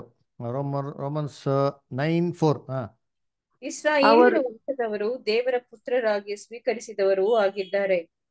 ಅವರಲ್ಲಿ ದೇವರ ತೇಜಸ್ ಸಾನ್ನಿಧ್ಯವೂ ಇದೆ. ಹಾ ಇಸ್ರೇಲ್ ಜನಗಳಲ್ಲಿ ದೇವರ ತೇಜಸ್ ಸಾನ್ನಿಧ್ಯವೂ ಇದೆ ಅಂತೀರಿ. ಏನ್ರು ದೇವರ ತೇಜಸ್ ಸಾನ್ನಿಧ್ಯವು ರೀ. ಏನ್ ಮಹಿಮೆ ಏನ್ ಗ್ಲೋರಿ ಅಲ್ಲರ ದೇವ್ರ ಮಕ್ಕಳಲ್ಲಿ ಇರ್ಬೇಕಂತ ಒಂದು ಏನ್ರಿ, ಒಂದು ಗೌರವ ಅನ್ನೋದು ಒಂದು ಕಳೆ ಎಲ್ಲಿದೆ ಅಂತೆ? ಅಲ್ವರ? ಅದಕ್ಕೆ ನೋಡ್ಬೇಕಾರೆ ಕೆಲವು ಜನ ನೋಡ್ಬೇಕಾರೆ ಹೆಂಗಂತಾರೆ ರಾಜ ಕಳೆ ಪಾ ಏನಪ್ಪ ಇದು ಅಂತ ಹೇಳ್ತಾರೆ ಗೊತ್ತಾ? ಆ ಥರ ಇಸ್ರೇಲ್ ಜನಗಳ ಮಕ್ಕದಲ್ಲಿ ಏನಿದೆ ಅಂತೆ? ಆ ಮಕ್ಕದಲ್ಲಿ ಅಂತ ಹೇಳ್ಬೇಕಾದ್ರೆ ಅವರು, ಅವ್ರ ಬಾಡಿಯಲ್ಲಿ ಆ ಥರ ದೇವರ ಆಶೀರ್ವಾದ ಏನು ಮಾಡೋದಂತ ಕೊಟ್ಟಿರೋಂಥ ಫಿಸಿಕಲ್ ಫೀಚರ್ಸಲ್ಲಿ ಅಂದ್ರೆ ಅದು ನೋಡಿದ್ರೆ ಒಂಥರ ಏನ್ರಿ, ಒಂದು ಸಮಾಧಾನ ಜನಗಳು, ಅದರ ಒಂದು ಪ್ರೀತಿಯುಕ್ತವಂಥ ಜನಗಳು ಏನಾಗಿದೆ ಅಂತ, ಇದೆ ಅಂತ ಅಂದ್ರೆ ಹಂಗಾದ್ರೆ ಇವಾಗ ಯೋಚನೆ ಮಾಡಿ ಇಲ್ಲಿ ಇಷ್ಟು ಒಂದು ಸ್ಥಳಗಳಲ್ಲಿ ಏನಪ್ಪ ನೋಡಿದ್ರೆ ದೇವ್ರ ಮಹಿಮೆಯವರು ಇತ್ತು ದೇವ್ರ ಮಹಿಮೆ ಇತ್ತು ಅಂತ. ಅಂದ್ರೆ ಇವರೆಲ್ಲ ದೇವ್ರಾಗ್ಬಿಟ್ರಾ ಅಂದರೆ ಇಲ್ಲ ರೀ. ಇದೇ ಪ್ರಕಾರ ಕ್ರಿಸ್ತನಿಗೆ ಮಹಿಮೆಯ ರಾಜ ಅಂತಂತ ಹೇಳ್ಬೇಕಾರೆ ಏನ್ರಿ ದೇವರ ಒಂದು ರಾಜ್ಯ ಭೂಲೋಕದ ಸ್ಥಾಪನೆ ಆಗ್ಬೇಕಾರೆ ಯಾರ ಮುಖಾಂತರ ಸ್ಥಾಪನೆ ಆಗೋದು? ವೆರಿ ಗುಡ್ ಯಾವಾಗ? ಎರಡನೇ ಬರುವಿಕೆಯಲ್ಲಿ. ಅಲ್ವರ? ಇವಾಗ ಆ ರಾಜ್ಯನ ಕ್ರಿಸ್ತನಿಗೆ ಏನ್ ಮಾಡ್ತಾರೆ ಕೊಡ್ತಾರೆ? ಕ್ರಿಸ್ತನ ಮುಖಾಂತರ ದೇವ್ರ ಏನ್ ಮಾಡ್ತಾರೆ? ಭೂಲೋಕದ ಸ್ಥಾಪನೆ ಮಾಡ್ತಾರೆ. ಅವಾಗ ಕ್ರಿಸ್ತನ್ ಏನ್ರಿ? ರಾಜ. ಅವಾಗ ಮಹಿಮೆ ಯಾರಿಗೆ ಬರ್ತಾರೆ ಅಂತಂದ್ರೆ ದೇವ್ರಿಗೇನೆ ಏನ್ರಿ? ದೇವರಿಗೆ ಬರುತ್ತೆ. ನೋಡಿ ಒಂದು ವಾಕ್ಯ ಓದೋಣ. ಅಲ್ಲಿ ಹ್ಮ್ ಒಂದು ನಿಮಿಷ. ಕೊನೆಯ ರಾಜ ಜಡಿಕೆ ಹಂಗೆ ಹೇಳ್ತಾರಲ್ಲ. ಮುಂಡಾಸವನ್ ಏನ್ ಮಾಡು? ಕಿತ್ತಾಕು. Ezekiel twenty first ಚಾಪ್ಟ್ರಾ?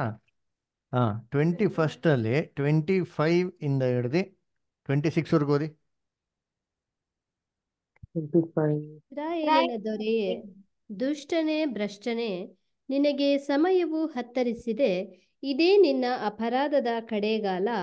ಕರ್ತನಾದ ಯಹೋವನು ಇಂತೆನ್ನುತ್ತಾನೆ ಮುಂಡಾಸವನ್ನು ಕಿತ್ತು ಬಿಡು ಕಿರೀಟವನ್ನು ಎತ್ತಿ ಹಾಕು ಮುಂಡಾಸವನ್ನು ಅಂದ್ರೆ ಕಿತ್ತಿ ಬಿಡು ಕಿರೀಟವನ್ನು ಎತ್ತಿ ಹಾಕು ಅಂದ್ರೆ ಕಿರೀಟ, ಮುಂಡಾಸ ಇವೆಲ್ಲ ಎಲ್ಲಪ್ಪ ಇತ್ತು ಅಂದ್ರೆ ಇಸ್ರೇಲ್ ಜನ ರಾಜ್ಯಗಳ ಮೇಲೆ ಇತ್ತು. ಅದರ ದೇವರ ತೇಜ ಸಾನ್ನಿಧ್ಯವು, ಆ ರಾಜ್ಯನ ಮಹಿಮೆ ಎಲ್ಲಪ್ಪ ಇತ್ತು ಅಂದ್ರೆ ಇಸ್ರೇಲ್ ರಾಜ್ಯಗಳ ಮೇಲೆ ಇತ್ತು. ನೋಡಿ, ಮುಂದಕ್ಕೆ ಏನಾಗ್ತದೆ ನೋಡಿ ನಂಗೆ ಹಾ.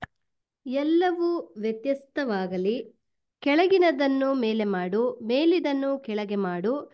ನಾನು ದೊಬ್ಬಿ ಬಿಡುವೆನು ದೊಬ್ಬಿ ಬಿಡುವೆನು ದೊಬ್ಬಿ ಬಿಡುವೆನು. ರಾಜ್ಯಕ್ಕೆ ಬಾಧ್ಯನು ಬರುವುದರೊಳಗೆ ಒಂದೂ ಇದ್ದಂತಿರದು. ಅವನಿಗೇ ರಾಜ್ಯವನ್ನು ವಹಿಸುವೆನು. ನೋಡ್ರಿ ಇವಾಗ ರಾಜ್ಯದ ಮುಂಡಾಸ ಕಿರೀಟಂಗ್ ಕಿತ್ತಾಕ್ಬಿಟ್ರು.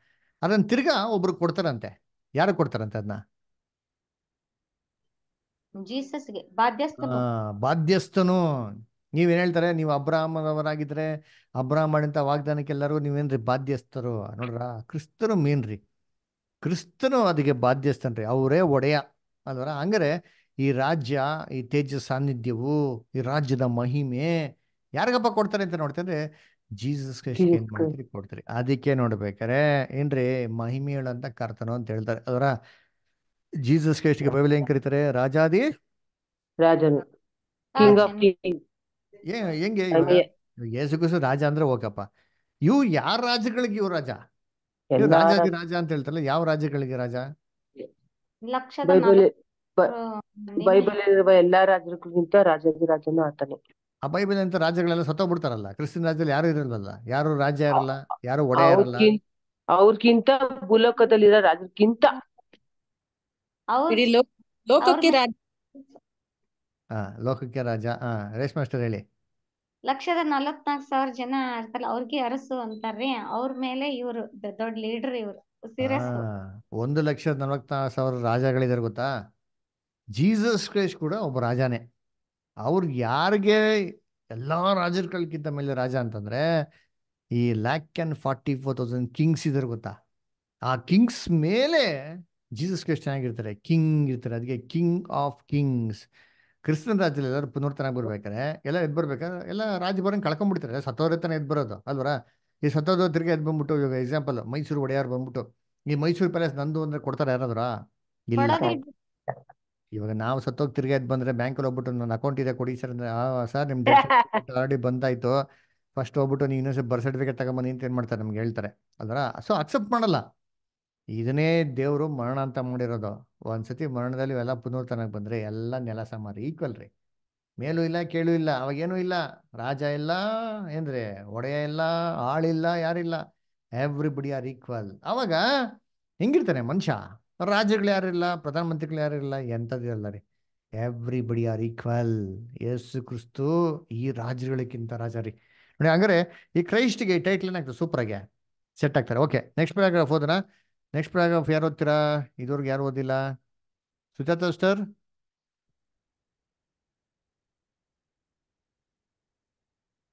ಓಕೆ ಹೌದು sister. Point number five sister. ಹಾ ಹಾ. ಕ್ರಿಸ್ತನ ಮಿಲಿಯಾಂತರ ಯುಗದ ರಾಜ್ಯದ ಬಗ್ಗೆ ಪ್ರವಾದಿಯ ಎರಡು ಲೇಖಣಿ ಚಿತ್ರಗಳಲ್ಲಿ, ಅಂತ್ಯಕಾಲದಲ್ಲಿ ಕರ್ತನ ಮಂದಿರದ ಬೆಟ್ಟವು ಎಲ್ಲಾ ಗುಡ್ಡ ಬೆಟ್ಟಗಳಿಗಿಂತ ಎಲ್ಲಾ ರಾಜ್ಯಗಳನ್ನು ತಳ್ಳಿ ಹಾಕಿ ಉನ್ನತೋನ್ನತವಾಗಿ ಬೆಳೆದು ನೆಲೆಗೊಳ್ಳುವುದು. ಹೊರಟು ಬಂದ ಬಹುದೇಶಗಳವರು ಬನ್ನಿರಿ, ಯಹೋವನ ಪರ್ವತಕ್ಕೆ ಹೋಗೋಣ. ಆತನು ತನ್ನ ಮಾರ್ಗಗಳ ವಿಷಯವಾಗಿ ನಮಗೆ ಬೋಧನೆ ಮಾಡುವನು. ನಾವು ಆತನ ದಾರಿಯಲ್ಲಿ ನಡೆಯುವೆವು. ಆತನು ಬಹು ರಾಷ್ಟ್ರದವರ ವ್ಯಾಜ್ಯಗಳನ್ನು ವಿಚಾರಿಸುವನು ಎಂದು ನೋಡುತ್ತೇವೆ. ಮೀಕ ನಾಲ್ಕರಲ್ಲಿ ಒಂದರಿಂದ ಮೂರು ಮತ್ತು ಏಷಾಯ ನಾಲ್ಕರಲ್ಲಿ ಎರಡರಿಂದ ನಾಲ್ಕು. ಓದ್ಬೇಕಾ ಬ್ರದರ್ ಹಾ, ಓದಿ ಓದಿ ಓದಿ. ಪಾಯಿಂಟ್ ನಂಬರ್ ಸಿಕ್ಸ್ ಬರೋ ತನಕ ಓದಿ ಇಷ್ಟ ಮಿಲಿಯಾಂತರ ಯುಗದಲ್ಲಿ ಕ್ರಿಸ್ತನು ತಾನೇ ರಾಜ್ಯಭಾರ ನಡೆಸುವವನು ನ್ಯಾಯ ತೀರಿಸುವವನು ಆಗಿದ್ದು ರಾಜ್ಯವನ್ನು ತನ್ನ ಅಧೀನದಲ್ಲಿಟ್ಟುಕೊಂಡಿರುವನು ಎಂದು ಹೇಳಿರುವುದರಿಂದ ಇಲ್ಲಿ ಯಹೋವನು ಎಂಬ ನಾಮವನ್ನು ಕ್ರಿಸ್ತನು ಎಂಬ ನಾಮವನ್ನಾಗಿ ಪರಿಗಣಿಸಬೇಕಾಗುತ್ತದೆ ಎಂದು ಹೇಳಲಾಗುತ್ತಿದೆ.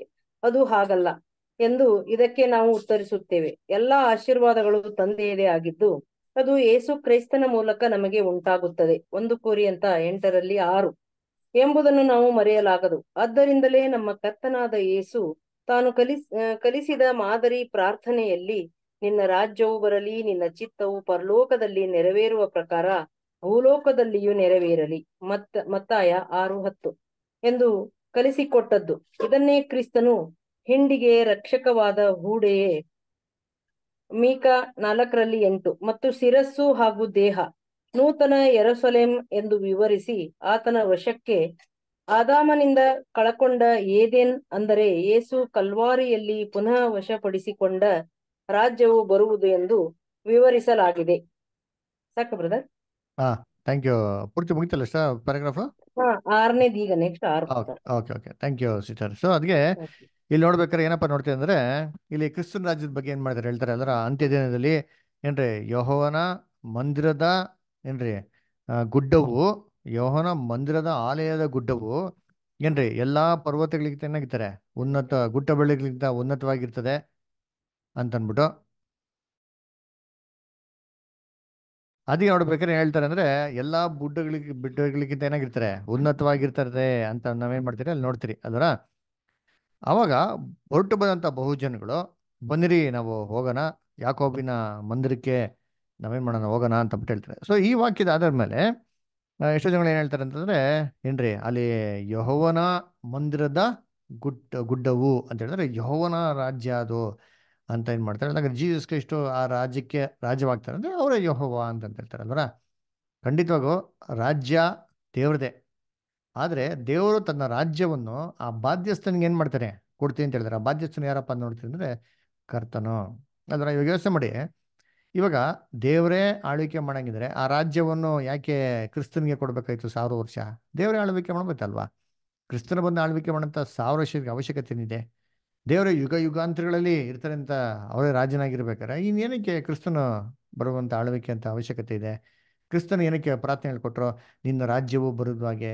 ಅದ್ ಬದಲು ಹೇಳ್ಕೊಬೇಕಲ್ಲ, ನನ್ನ ರಾಜ್ಯವು ಬರೋದಾಗೆ ಅಂತ ಹೇಳ್ಬೋದಿತ್ತಲ್ಲ ಪ್ರಯತ್ನಲ್ಲಿ ಹಂಗೆ ಯಾವುದು ಹೇಳಿಲ್ವಲ್ಲ? ಹಂಗಾರೆ ಏನ್ರಿ? ಸೊ ಕರ್ತನು ಏನೇ ದೇವರ ರೆಪ್ರೆಸೆಂಟೇಟಿವ್ ಆಗಿ ತನ್ನ ರಾಜ್ಯವನ್ನು ಏನು ಮಾಡ್ತಾರೆ ಅವರು? ಭೂಲೋಕದಲ್ಲಿ ಅವರು ಸ್ಥಾಪನೆ ಮಾಡೋಂಥ ವಿಚಾರ ಏನಾಗಿದೆ? ಇಲ್ಲಿ ಆಗಿದೆ. ಅಲ್ವರ? ಸರಿ ನೋಡ್ಬೇಕಾದ್ರೆ ಇದು ದೇವರಾಜ್ಯನೇ. ಆದರೆ ಕ್ರಿಸ್ತನ್ ಏನಾಗಿದ್ದಾರೆ ಅದಕ್ಕೆ? ರೆಪ್ರೆಸೆಂಟೇಟಿವ್ ಆಗಿದ್ದಾರೆ. ನೋಡಿ ಒಂದು ವಾಕ್ಯ ಓದೋಣ. ಒಂದನೇ ಕುರಿತ ಹದಿನೈದನೇ ಅಧ್ಯಾಯ ಬನ್ರಿ. ಒಂದನೇ ಕುರಿತ ಹದಿನೈದನೇ ಅಧ್ಯಾಯ.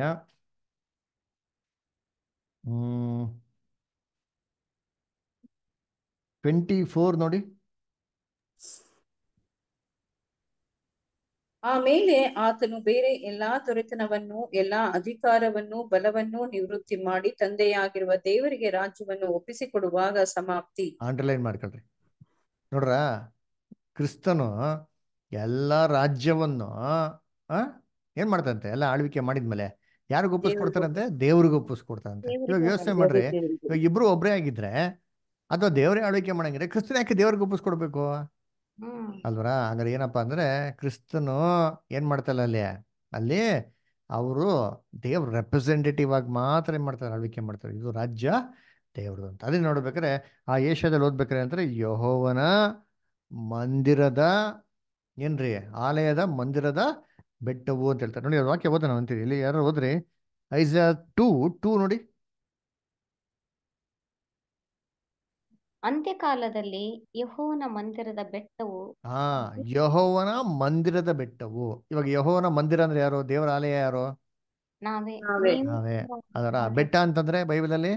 ರಾಜ್ಯ. ರಾಜ್ಯಗಳು. ರಾಜ್ಯ. ವೆರಿ ಗುಡ್ ಅದರ ಯಹೋವನ ಏನ್ರಿ? ಮಂದಿರದ ಬೆಟ್ಟವು ಅಂತಂದ್ರೆ ದೇವರ ರಾಜ್ಯ. ಆ ರೆಪ್ರೆಸೆಂಟೇಟಿವ್ ಯಾರಪ್ಪ ಅಂದ್ರೆ ಕ್ರಿಸ್ತರು ಮಾತ್ರ ಅಲ್ಲ ಸಭೆ ಕೂಡ ಏನಾಗಿದ್ದಾರೆ? ಸೇರಿದ್ದಾರೆ ಅಂತ. ಅದು ನೋಡ್ಬೇಕಾದ್ರೆ ಈ ಒಂದು ದೇವರಾಜ್ಯದ ಬಗ್ಗೆ ಏನ್ ಮಾಡ್ತಾರೆ ರೆಫರೆನ್ಸ್ ಕೊಡ್ತಾರೆ ಅದನ್ನ ನೋಡ್ಬೇಕಾದ್ರೆ ಇದನ್ನ ನಾವು ಆ ರೀತಿ ಪ್ರೂಫ್ ತೊಗೊಳಕ್ಕೆ ಆಗೋದಿಲ್ಲ. ಸರಿ okay next paragraph next paragraph ಯಾರೋ ಓದಿದ್ಲ?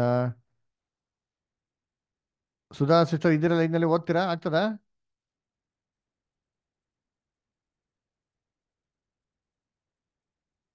ಸರಿ ಓಕೆ ಅನು ಸಿಸ್ಟರ್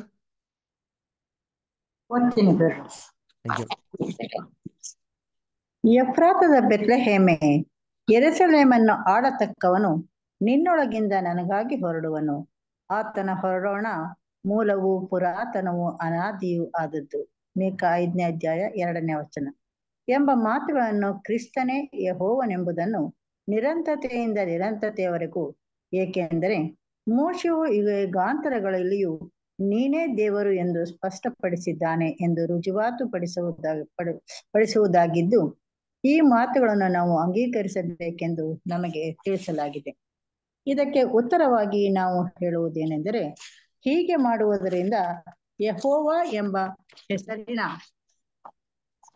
ಉಪಯೋಗವಾಗಿರುವ ನೂರಾರು ಕಡೆಗಳಲ್ಲಿ ನಾವು ವಿವೇಚನಾರಹಿತವಾದ ಊಹೆಗಳನ್ನು ಮಾಡುವಂತೆ ತಿಳಿಸಿದಂತಾಗುತ್ತದೆ. ಆದರೆ ಇದು ಕಂಡುಬರುವ ಸಂಬಂಧಗಳಿಗೂ ವ್ಯತಿರಿಕ್ತವಾಗಿದೆ. ಮೀಕ ಐದನೇ ಅಧ್ಯಾಯ ನಾಲ್ಕನೇ ವಚನದಲ್ಲಿ ಮುಂದುವರೆದು, ನಾವು ಮೆಸ್ಸಿಯನ ಬಗ್ಗೆ ಆತನ ಕರ್ತನ ಬಲವನ್ನು ತನ್ನ ದೇವರಾದ ಯಹೋವನ ನಾಮದ ಮಹಿಮೆಯನ್ನು ಹೊಂದಿದವನಾಗಿ ನಿಂತು ತನ್ನ ಹಿಂಡನ್ನು ಮೇಯಿಸುವನು ಎಂದು ಓದುತ್ತೇವೆ. ಈ ಪ್ರಸ್ತಾಪದ ಬಗ್ಗೆ ಇದಕ್ಕಿಂತ ಸ್ಪಷ್ಟವಾದ ಹೇಳಿಕೆ ಇಲ್ಲ. ಹಾಗಾದರೆ ಮೀಕ ಐದು ಎರಡನೆಯ ವಚನದಲ್ಲಿ ಹೇಳಿದುದರ ಅರ್ಥವಾದರೂ ಏನು? ಅವನ್ನು ಈ ರೀತಿಯಾಗಿ ಚೆನ್ನಾಗಿ ಅರ್ಥ ಮಾಡಿಕೊಳ್ಳಬಹುದೆಂದು ನಾವು ಹೇಳುತ್ತೇವೆ. ಹೊರೋಣದ ಮೂಲವು ಪುರಾತನವು ಮುಂಚಿತವಾಗಿಯೇ ತಿಳಿಸಲ್ಪಟ್ಟದ್ದು ಅನಾದಿಯೂ ಆದದ್ದು.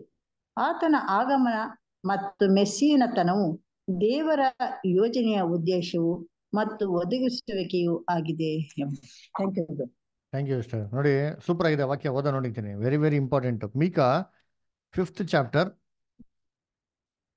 Micah fifth chapter second word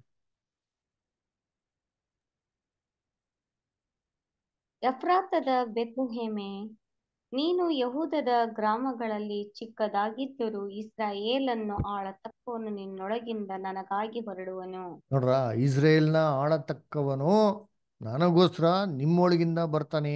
ಆಮೇಲೆ ನೆಕ್ಸ್ಟ್ ಆತನ ಹೊರಡೋಣದ ಮೂಲವು ಪುರಾತನವೂ ಅನಾದಿಯೂ ಆದದ್ದು. ನೋಡ್ರ ಆತನ ಹೊರಡುವಂತ ಮೂಲವು ಏನ್ರಿ ಪುರಾತನವೂ ಅನಾದಿ ಆದದ್ದು ಅಂತ ಹೇಳ್ತಾರೆ. ಅದಕ್ಕೆ ಅನಾದಿ ಅಂತ ಹೇಳ್ತಾರೆ ಇದ್ದಾರೆ. ಅನಾದಿ ಅಂದ್ರೆ ಅದಕ್ಕೆ ಆರಂಭನೇ ಇಲ್ಲ ಬಿಗಿನಿಂಗೇ ಇಲ್ಲ ಅಂತ ಅದಕ್ಕೆ ಎಷ್ಟೋ ಜನ ಹೇಳ್ತಾರೆ ನೋಡಿ ಯೇಸು ಕ್ರಿಸ್ತನ ಆರಂಭ ಅವ್ರಿಗೆ ಅವ್ರ ರಾಜ್ಯದ ಇದು ಏನ್ರಿ ಯೇಸು ಕ್ರಿಸ್ತನ ಬಗ್ಗೆ ಆರಂಭನೇ ಇಲ್ಲ. ಸೊ ಯೇಸು ಕ್ರಿಸ್ತನೇ ದೇವರು ಅಂತ ಹೇಳ್ತಾರೆ. ಹೇಗೆ? ಹೇಗೆ ಅಂತಂದ್ರೆ ನಾವೇನ್ ಮಾಡಿದ್ರಿ? ಯೋಹಾನ ಒಂದು ಒಂದು ಓದಿದ್ದೀರಲ್ವರ ಆದಿಯಲ್ಲಿ ಏನ್ರಿ ದೇವರಿದ್ರು ಆ ದೇವ್ ದೇವರು ಸರಿ ಆದಿಯಲ್ಲಿ ವಾಕ್ಯವಿತ್ತು ಆ ವಾಕ್ಯವು ದೇವ್ರ ಬಳಿಲಿತ್ತು ಆ ವಾಕ್ಯವೇ ದೇವರಾಗಿತ್ತು ಅಂತ ನೋಡ್ತೀರಿ. ಅದಕ್ಕೆ ಏನ್ ಮಾಡ್ತೀರಿ? ಆದಿ. ಅದರ ಸೊ ದೇವರಾಗಿದ್ದರು ವಾಕ್ಯವಾಗಿದ್ದರು ಸೊ ದೇವರೇ ವಾಕ್ಯ ವಾಕ್ಯನೇ ದೇವರು ಈಕ್ವಲ್ ಮುಗಿದೋಯ್ತು ಪ್ಲೀಸ್ ಸೊ ಹಂಗಾರೆ ಜೀಸಸ್ ದೇವರನ್ನು ಮುಗಿಸ್ಬಿಡ್ತಾರೆ. ಅದಕ್ಕೆ ಈ ವಾಕ್ಯ ನೋಡಿ ಏನು ಮಾಡ್ತಾರೆ ನೋಡಿ ಅವರು ಆದಿಯಿಂದ ಪುರಾತನ ಕಾಲದಿಂದ ಏನಾಗಿದೆ?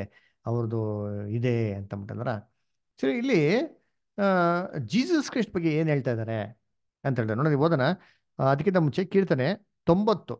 ಕೀರ್ತನೆ ತೊಂಬತ್ತು ವಚನ ಒಂದು ಮತ್ತೆರಡು Psalms chapter ninety verse one and two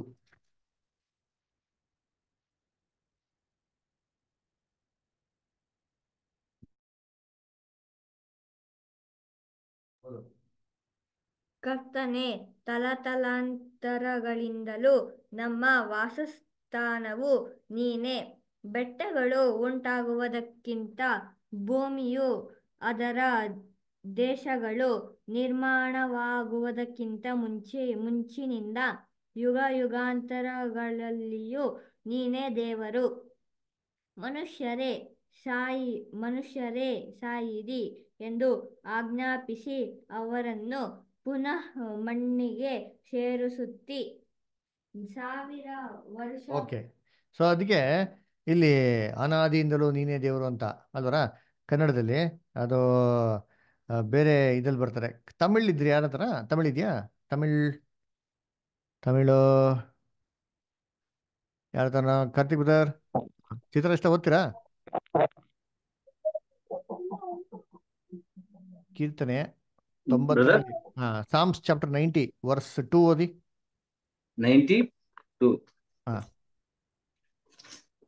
தொண்ணூறுல ரெண்டு ஆ பிரதர் பர்வதங்கள் தோன்றும் முன்னும் நீர் பூமியை உலகத்தையும் உருவாக்கும் முன்னும் நீரே அனாதியாய் என்றென்றைக்கும் தேவனாய் இருக்கிறீர் ನೋಡ್ರ ಅನಾದಿಯಾಗೋ ನೀನೇ ದೇವರು ಅಂತ ಹೇಳ್ತಾರೆ. ಕನ್ನಡದಲ್ಲಿ ಬರಲಿಲ್ಲ, ತೆಗೆದುಬಿಟ್ರೆ ಹೊಣಿತೀರಿ ಅದೇ ಮೀಕಾದಲ್ಲಿ ಏನು ಮಾಡೋರು ಕೊಟ್ಟವ್ರೆ? ಸೊ ಏನು ಮಾಡ್ತಾರೆ? ಈ ಅನಾದಿಯಾಗಿರೋ ದೇವರು, ಈ ಅನಾದಿ ಒಂದು ರಾಜನ ಬಗ್ಗೆ ಹೇಳ್ತಲ್ಲ ಮೀಕಾದಲ್ಲಿ. ಸೊ ಎರಡು ಇಬ್ಬರು ಒಂದೇ. ಅದಕ್ಕೆ ಇಬ್ರಿಗೂ ಆದಿ ಇಲ್ಲ, ಇಬ್ರು ಅನಾದಿ.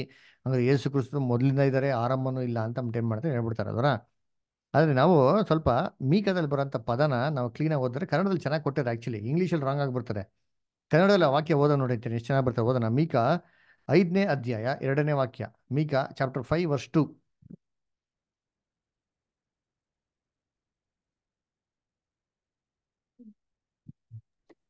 ಎಫ್ರಾತದ ಬೆತ್ಲೆಹೇಮೆ ನೀನು ಯಹೂದದ ಗ್ರಾಮಗಳಲ್ಲಿ ಚಿಕ್ಕದಾಗಿದ್ದರೂ ಇಸ್ರಾಯೇಲನ್ನು ಆಳತಕ್ಕವನು ನಿನ್ನೊಳಗಿಂದ ನನಗಾಗಿ ಹೊರಡುವನು. ನೋಡ್ರ ಆಳತಕ್ಕವನು ಏನ್ ಮಾಡ್ತಾನೆ? ನಿನ್ನೊಂದ ಹೊರಡು ಬರುವನು ಆಮೇಲೆ ನೋಡಿ ಇಲ್ಲಿ ಇಸ್ರೇಲ್ನ ನ ಆಳ್ವಿಕೆ ಮಾಡ್ತಾನಂತೆ ಒಂದ್ ನಿಮಿಷ ಅಷ್ಟೇ ಥ್ಯಾಂಕ್ ಯು ಸೊ ಇಲ್ಲಿ ಇಸ್ರೇಲ್ನ ಆಳ್ವಿಕೆ ಮಾಡೋನು ಅಲ್ಲಿಂದ ಓಡ್ಬಿಡ್ತಾನಂತೆ ಸರಿ ನೆಕ್ಸ್ಟ್ ಮುಂದಕ್ಕೆ ಹಾ.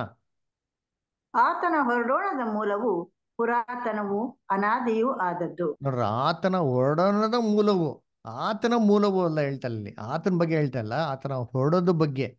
ಏನ್ರಿ ಅವ್ರ ರಾಜ್ಯವನ್ನು ಸ್ಥಾಪನೆ ಮಾಡಕ್ಕೆ ಹೊರಡ್ತಾರೆ ಗೊತ್ತಾ? ಆ ಕಾರ್ಯಗಳೆಲ್ಲ ಸಾಧಿಸ್ತಾರೆ ಗೊತ್ತಾ? ಆ ರಾಜ್ಯನ ಸ್ಥಾಪನೆ ಮಾಡೋಂಥ ಕ್ರಿಯೆಗಳು. ಇದ್ರ ಬಗ್ಗೆ ಏನ್ರಿ ಅನಾದಿನೇನಾಗಿದಂತೆ ಅದು ಹೇಳಲ್ಪಟ್ಟಿದೆ ಅದಾದಿಗೆ ನೋಡ್ಬೇಕಾದ್ರೆ ದೇವ್ರ ರಾಜ್ಯ ದೇವ್ರು ಯಾವಾಗ ಡಿಸೈಡ್ ಮಾಡಿತು ಭೂಲೋಕದಲ್ಲಿ ತನ್ನ ರಾಜ್ಯವು ಇರಬೇಕು. ಭೂಲೋಕದಲ್ಲಿ ಮನುಷ್ಯಗಳಿಗಾಗಿ ಯೇಸು ಕ್ರಿಸ್ತು ತನ್ನ ಪ್ರಾಣನ ಕೊಡಬೇಕು ಅಂತ ದೇವ್ರು ಡಿಸೈಡ್ ಮಾಡಿದ್ ಯಾವಾಗ? ಅನಾದಿಯಿಂದಲೇ. ಹಾ ವೆರಿ ಗುಡ್ ಅನಾದಿ ಅಂದ್ರೆ ಯಾವಾಗ? ಪುರಾತನ ಕಾಲ ಪುರಾತನ ಕಾಲದಲ್ಲಿ. ಇನ್ನ ಕ್ಲೀನ್ ಆಗಿ ಹೇಳಿ. ಜೀಸಸ್ ಕ್ರೈಸ್ಟ್ ಹುಟ್ಟು ಹುಟ್ಟಕ್ಕೂ ಮುಂಚೆ ಮಾಡಿದ್ರ? ಈ ಜೀಸಸ್ ಕ್ರೈಸ್ಟ್ ಹುಟ್ಟಿದ ಮೇಲೆ ಮಾಡಿದ್ರ? ಹುಟ್ಟಿದ ಮುಂಚೆ. ಹಾ ಹುಟ್ಟಕ್ಕಿಂತ ಮುಂಚೆನೆ ಮಾಡಿದ್ರು. ಎಲ್ಲಿದೆ ಬೈಬಲ್ನಲ್ಲಿ ಹುಟ್ಟಕ್ಕಿಂತ ಮುಂಚೆನೆ ಮಾಡಿದ್ರು ಅಂತ?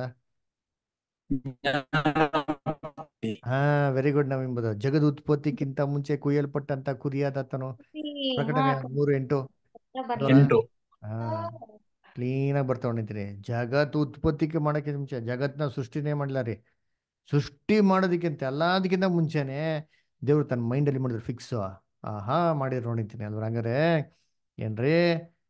ಅನಾದಿಯಿಂದ ಈ ಪರ್ಪಸ್ ಏನಾಗಿದೆ? ಫಸ್ಟೇ ಡಿಸೈಡ್ ಆಗಿದೆ ಹೊರತು ಜೀಸಸ್ ಕ್ರಿಸ್ಟ್ ಬಗ್ಗೆ ಏನು ಮಾಡ್ತಾರೆ ಹೇಳ್ತಿಲ್ಲ ಓಕೆ ಇನಿವೇ ನೋಡ್ಬೇಕಾದ್ರೆ ನೋಡಿ ಎಷ್ಟು ಪಾಯಿಂಟ್ಸ್ಗಳಿದೆ ನೋಡ್ರ? ನಮ್ಮ ಟ್ರಿನಿಟಿ ಪಾಠ ತೊಗೊಳೋದಕ್ಕೆ.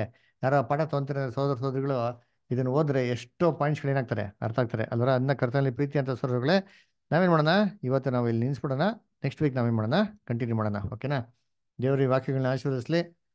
ಯಾರಿಗಾರ ಡೌಟ್ಸ್ ಇದೆಯಾ? ಏನೋ ಕ್ವಶನ್ಸ್ ಇದೆಯಾ? ಇಲ್ಲ ಪ್ರೇಯರ್ ಮಾಡಿ ಕ್ಲೋಸ್ ಮಾಡೋಣ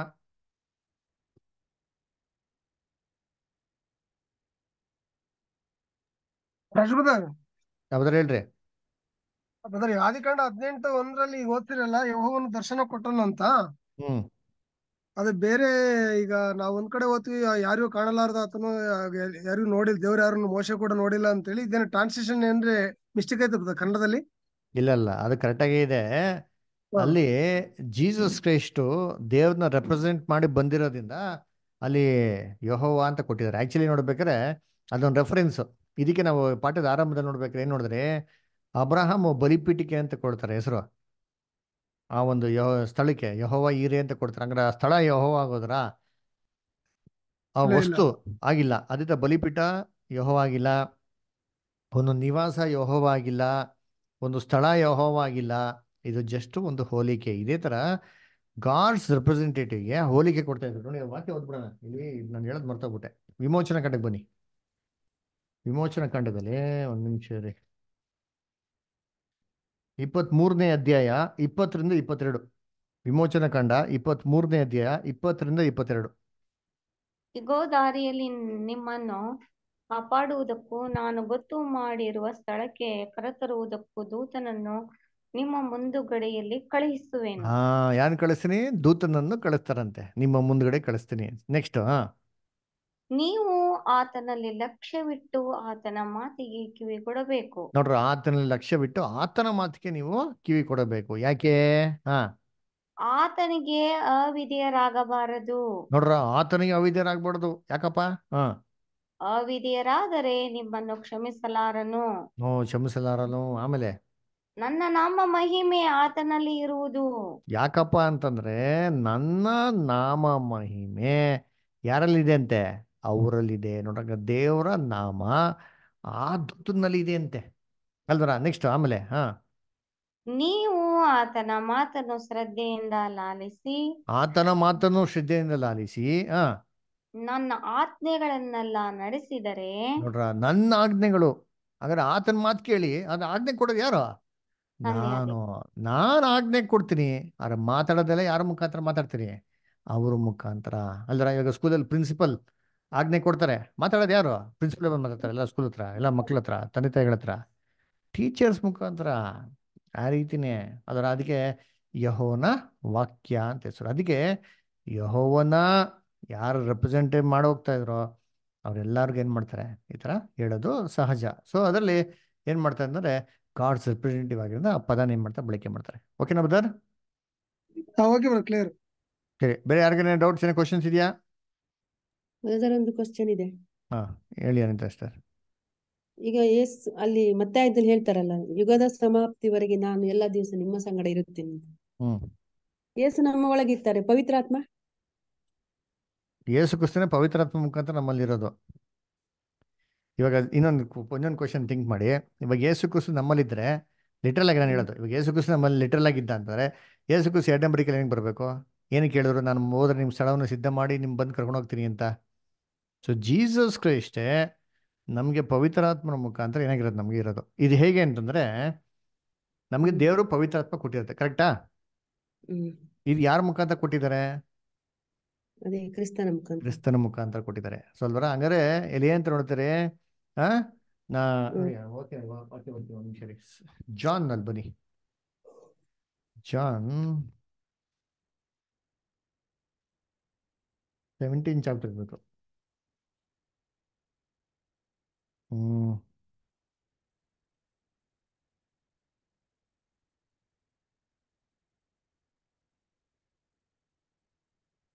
I'm sure.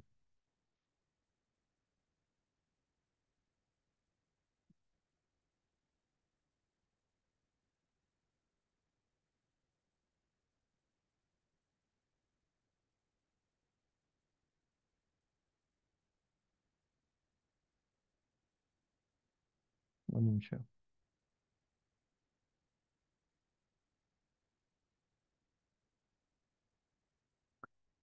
John, fourteen chapter verse twenty 23. ಯಾರಾದರೂ ನನ್ನನ್ನು ಪ್ರೀತಿಸುವನಾದರೆ ನನ್ನ ಮಾತನ್ನು ಕೈಗೊಂಡು ನಡೆಯುವನು. ಅದೇನಾ? ಕರೆಕ್ಟ್ ಕರೆಕ್ಟ್ ಓದಿ ಕರೆಕ್ಟ್ ನನ್ನ ಮಾತನ್ನು. ಅವನನ್ನು ನಾನು ಅವನನ್ನು ನನ್ನ ತಂದೆಯು ಪ್ರೀತಿಸುವನು. ಅಲ್ಲ ಬೇರೆ ಐತಿ. ಓದ್ರಿ ಕರೆಕ್ಟ್ ಅಯ್ಯೋ ಪೂರ್ತಿ ವಾಕ್ಯ ಹೋಗಕ್ಕೂ ಮುಂಚೆನೆ ದುಡುಕ್ತಿರಲ್ಲ. ಮತ್ತು ನಾವಿಬ್ಬರು ಅವನ ಬಳಿಗೆ ಬಂದು ಅವನ ಬಳಿಯಲ್ಲಿ ಬಿಡಾರವನ್ನು ಮಾಡಿಕೊಳ್ಳುವೆವು. ಆ, ದೇವರ ದೇವ್ರು ಎಲ್ಲವ್ರ ಪರಲೋಕದಲ್ಲಿ ಅವರ ಇಲ್ಲವ್ರ? ದೇವರು ಪರಲೋಕದಲ್ಲಿದ್ದಾರೆ. ಆ ದೇವ್ರು ಏನ್ ಮಾಡ್ತಾರೆ ತನ್ನ ಪವಿತ್ರಾತ್ಮ ಮುಖಾಂತರ ನಮ್ಮಲ್ಲಿ ವಾಸ ಮಾಡೋದು. ಆಯ್ತಾ? ಲಿಟರಲ್ ಪವಿತ್ರಾತ್ಮ ಆಗೇನು ವಾಸ ಮಾಡಲ್ಲ. ಅಂದ್ರೆ ಗಾಡ್ ಸ್ಪಿರಿಟ್ ಮುಖಾಂತರ ನಮ್ಗೆ ಏನ್ ಮಾಡ್ತಾರೆ ನಮ್ಮಲ್ಲಿ ಇದ್ದಿ ನಮ್ಗೆ ಏನ್ ಮಾಡ್ತಾರೆ ನಮ್ಗೆ ಗೈಡ್ ಮಾಡ್ತಾರೆ. ಅದರ ಅದು ಗಾಡ್ಸ್ ಹೋಲಿ ಸ್ಪಿರಿಟ್. ಅದಕ್ಕೆ ನಾವು ನೋಡ್ತಿಲ್ಲ ಹೋಲಿ ಸ್ಪಿರಿಟ್ ಪಾಠದಲ್ಲಿ ಏನ್ ನೋಡಿದ್ರಿ? ಹೋಲಿ ಸ್ಪಿರಿಟ್ ಒಂದು ವ್ಯಕ್ತಿನ ಅಥವಾ ದೇವ್ರ ಶಕ್ತಿನ? ಶಕ್ತಿ ದೇವರ? ಶಕ್ತಿ. ನಾವು ದೇವರಲ್ಲಿ ಎಷ್ಟು ಜ್ಞಾನದಲ್ಲಿ ಆತನ ವಾಕ್ಯಕ್ಕೆ ವಿಧೇಯರಾಗ್ತಿರೋ ಅಷ್ಟೇ ನಮ್ಮಲ್ಲಿ ಏನಾಗ್ತದೆ? ಅಲ್ಲಿ ದೇವರು ಒಂದು ಪವಿತ್ರಾತ್ಮ ಏನಾಗ್ತಾರೆ? ಬಲ ಜ್ಞಾನ ಬುದ್ಧಿ ತಿಳುವಳಿಕೆ ನಮ್ಮ ಮೇಲೆ ಆಗಿರ್ತಾರೆ ಅಷ್ಟಲ್ಲಿ ಇರ್ತದೆ. ಓಕೆನಾ ಉದಾಹರಣೆಗೆ ಹೇಳ್ಬೇಕಾದ್ರೆ ಇನ್ನೊಂದು ಎಕ್ಸಾಂಪಲ್ ಕೊಡ್ತೀನಿ ಇವಾಗ. ನಾವು ಜನರಲ್ ಆಗಿ ಹೇಳೋದು ಔಟ್ ಆಫ್ ದಿ ಸ್ಕ್ರಿಪ್ಚರ್ಸ್ ಬಿಟ್ಟು ಹಂಗೆ ಹೇಳೋದು. ಇವಾಗ ಲೋಕದಲ್ಲಿ ನಾವೇನೋ ಕಳ್ತನ ಮಾಡಿಲ್ಲ ಮೋಸ ಮಾಡಿಲ್ಲ. ಅವಾಗ ನಮಗೆ ಬಾಳಕ್ಕೆ ಒಂದು ಧೈರ್ಯ ಇರ್ತಲ್ಲ ಮೈಂಡ್ ಕ್ಲಿಯರ್ ಆಗಿರ್ತಾರೆ ಫ್ರೆಶ್ ಆಗಿರ್ತಾರೆ ಧೈರ್ಯ ಇರ್ತದೆ ಇಲ್ವಾ? ಅಲ್ವರ? ಇವಾಗ ಇದೇ ತರ ಯೋಚನೆ ಮಾಡಿ ಒಬ್ಬ ಕಳ್ತನ ಮಾಡಿರೋನು ಒಬ್ಬ ಮೋಸ ಮಾಡಿರೋನು ಒಬ್ಬನ ಕೊಲೆ ಮಾಡಿರೋನು ಅವನ ಹೆಂಗಿರ್ತಾನೆ? ಅವನಿಗೆ ಒಳಗೆ ಏನಾಗ್ತಾರೆ? ಭಯ ಇರ್ತಾರೆ ಅದರ ಆ ಕಾನ್ಫಿಡೆನ್ಸ್ ಇಂದ ಬಳಕೆ ಸಾಧ್ಯ ಇಲ್ಲ. ಇದೇ ಪ್ರಕಾರ ನಾವು ದೇವರ ವಾಕ್ಯಕ್ಕೆ ಎಷ್ಟು ವಿಧೇಯರಾಗಿರ್ತಾರೋ ದೇವ್ರಿಗೆ ಎಷ್ಟು ಹತ್ರವಾಗಿರ್ತಾರೋ ಅಷ್ಟು ಕಾನ್ಫಿಡೆನ್ಸ್ ಇಂದ ಏನ್ರಿ ನಾವು ಮಾಡ್ಬೋದು? ಈ ಕಾನ್ಫಿಡೆನ್ಸ್ ನಮಗೆ ಕೊಡೋದು ಯಾರು ಅಂದ್ರೆ ನಮ್ಮಲ್ಲಿರೋಂಥ ಸೆಲ್ಫ್ ಕಾನ್ಫಿಡೆನ್ಸ್ ಅಲ್ಲ ರೀ. ದೇವ್ರ ಮೇಲಿರೋಂಥ ಭರವಸೆ ಅದನ್ನೇ ನಂಬಿಕೆ ಅಂತ ಹೇಳೋದು ಸತ್ಯವಿದ್ದಲ್ಲಿ. ಓಕೆಂದ್ರ ಈ ನಂಬಿಕೆನೇ ನಮಗೇನು ಮಾಡೋದು? ಈ ಲೋಕದಲ್ಲಿ ಬರುವಂಥ ಒಂದೊಂದು ಶೋಧನೆಗಳನ್ನ ಜಯಿಸೋದಕ್ಕೆ ನಮ್ಗೆ ಏನು ಮಾಡೋದು? ದೇವರು ಕೃಪೆ ಮೇಲೆ ಕೃಪೆ ಕೊಟ್ಟು ಸಹಾಯ ಮಾಡೋದು. ಓಕೆನ್ರ ಓಕೆ. ಬೇರೆ? ನಾನು ನಾನ್ ನಿಮ್ಮನ್ನ ಅನಾಥರಾಗಿ ಬಿಡುದಿಲ್ಲ. ಕಳ್ಸ್ಕೊಡ್ತೀನಿ ಅಂತ. ಹ್ಮ್. ಸರಿ ಬೇರೆ ಡೌಟ್ಸ್ ಇದೆಯಾ? ಕರೆಕ್ಟ್ ಬ್ರದರ್ ಕೇಳ್ಬೋದ್ರ ಕೇಳ್ರಿ ಬಸವರಾಜ್ brother ಹೇಳಿ. ಏನಂತ ಹೇಳಿದ್ರೆ ಬ್ರದರ್ ಈ ಲೋಕದರ ಮೇಲೆ ಒಂದು ಟೈಮಲ್ಲಿ ಲಾಸ್ಟ್ ಈ ಲೋಕದವರೆಲ್ಲ ಎದ್ದೇಳ್ತಾರಲ್ವ್ರ ಹ್ಮ್. ಎದ್ದಾಗ ಆಗ ಚಿಕ್ಕವರು ದೊಡ್ಡವರಾಗಿರ್ತಾರೆ ಅಥವಾ ದೊಡ್ಡವರೆಲ್ಲ ಆ, ವಯಸ್ಸಾದವರೆಲ್ಲ ನಂಬಿಕೆಯಲ್ಲಿ ಇದಾಗ್ಬಿಟ್ಟು ಪುನಃ ಮೂವತ್ತು ವರ್ಷಕ್ಕೆ ಬರ್ತಾರಂತ. ಆ ಇದ್ರಲ್ಲಿ ಮಕ್ ಮತ್ತೆ ಮದುವೆ ಮತ್ತೆ ಮಕ್ಕಳನ್ನ ಅನ್ನೋದು ಏನಾದ್ರು ಇರ್ತದ್ರ ಆ ಇದರಲ್ಲಿ ಮಕ್ಕಳು ಆ ಕಾಲದಲ್ಲಿ ಆಗ ಮತ್ತೆ ಮದುವೆ ಮಕ್ಕಳು ಈ ತರದ್ ಏನಿರ್ತದ ಅಥವಾ ಅದೇ ಎಂಡ್ ಆಗಿರ್ತದ ಅಂತ ಅವಾಗ ಮಕ್ಕಳು ಅಂತಬಿಟ್ಟು ಮಕ್ಕಳು ಪಡೆಯೋರು ಇರೋದಿಲ್ಲ. ಅಂದ್ರೆ ಮದ್ವೆ ಅಂತ ಇರೋದಿಲ್ಲ. ಯಾಕಂದ್ರೆ ಯೇಸು ಕೃಷ್ಣ ಹೇಳ್ತಾರೆ ಕ್ರಿಸ್ತನ್ ರಾಜ್ಯದಲ್ಲಿ ಮದ್ವೆನೂ ಇರೋದಿಲ್ಲ ಮಾಡ್ಕೊಡೋದಿಲ್ಲ ಮದ್ವೆನೂ ಇರೋದಿಲ್ಲ ಅಂತ ಹೇಳ್ತಾರೆ. ಎಲ್ಲ ಪರದೋಗ ದೂತರು ಹೇಳ್ತಾ ಇರ್ತಾರೆ. ಅಂದ್ರೆ ಮ್ಯಾರೇಜ್ ಕಾನ್ಸೆಪ್ಟ್ ಅಂತ ಇರಲ್ಲ. ಆದ್ರೆ ಮತ್ತೆ ಅವಾಗ ಹೆಂಗೆ ಅಂತಂದ್ರೆ ಆಲ್ರೆಡಿ ಎಷ್ಟೋ ಜನ ಮಕ್ಳುಗಳು ಹುಟ್ಟು ಏನಾಗಿದ್ದಾರೆ? ಸತ್ತೋಗಿದ್ದಾರೆ ಕರೆಕ್ಟಾ ಅದೇ ಅದೇ ಬಂದಿರೋದು ಒಂದು ದಿನ ಒಂದ್ ಕ್ಷಣ ಎರಡು ಕ್ಷಣ ಎರಡು ಅವರು ಮೂರು ಅವರು ಹುಟ್ಟಿದ ತಕ್ಷಣ ಸತ್ತೋಗಿ ಎಷ್ಟೋ ಮಕ್ಳಿದ್ದಾರೆ. ಎಲ್ಲಾ ಮಕ್ಳುಗಳು ಪುನರ್ತನ ಆಗಿ ಬರ್ತಾರೆ ಆ ಮಕ್ಳುಗಳನ್ನ ಏನ್ರಿ ಏನ್ರಿ ದೇವರಾಜದಲ್ಲಿ ಮಕ್ಳುಗಳ ತರ ಏನ್ ಮಾಡ್ತಾರೆ ಬೆಳೆಸ್ತಾರೆ. ಓಕೆನಾ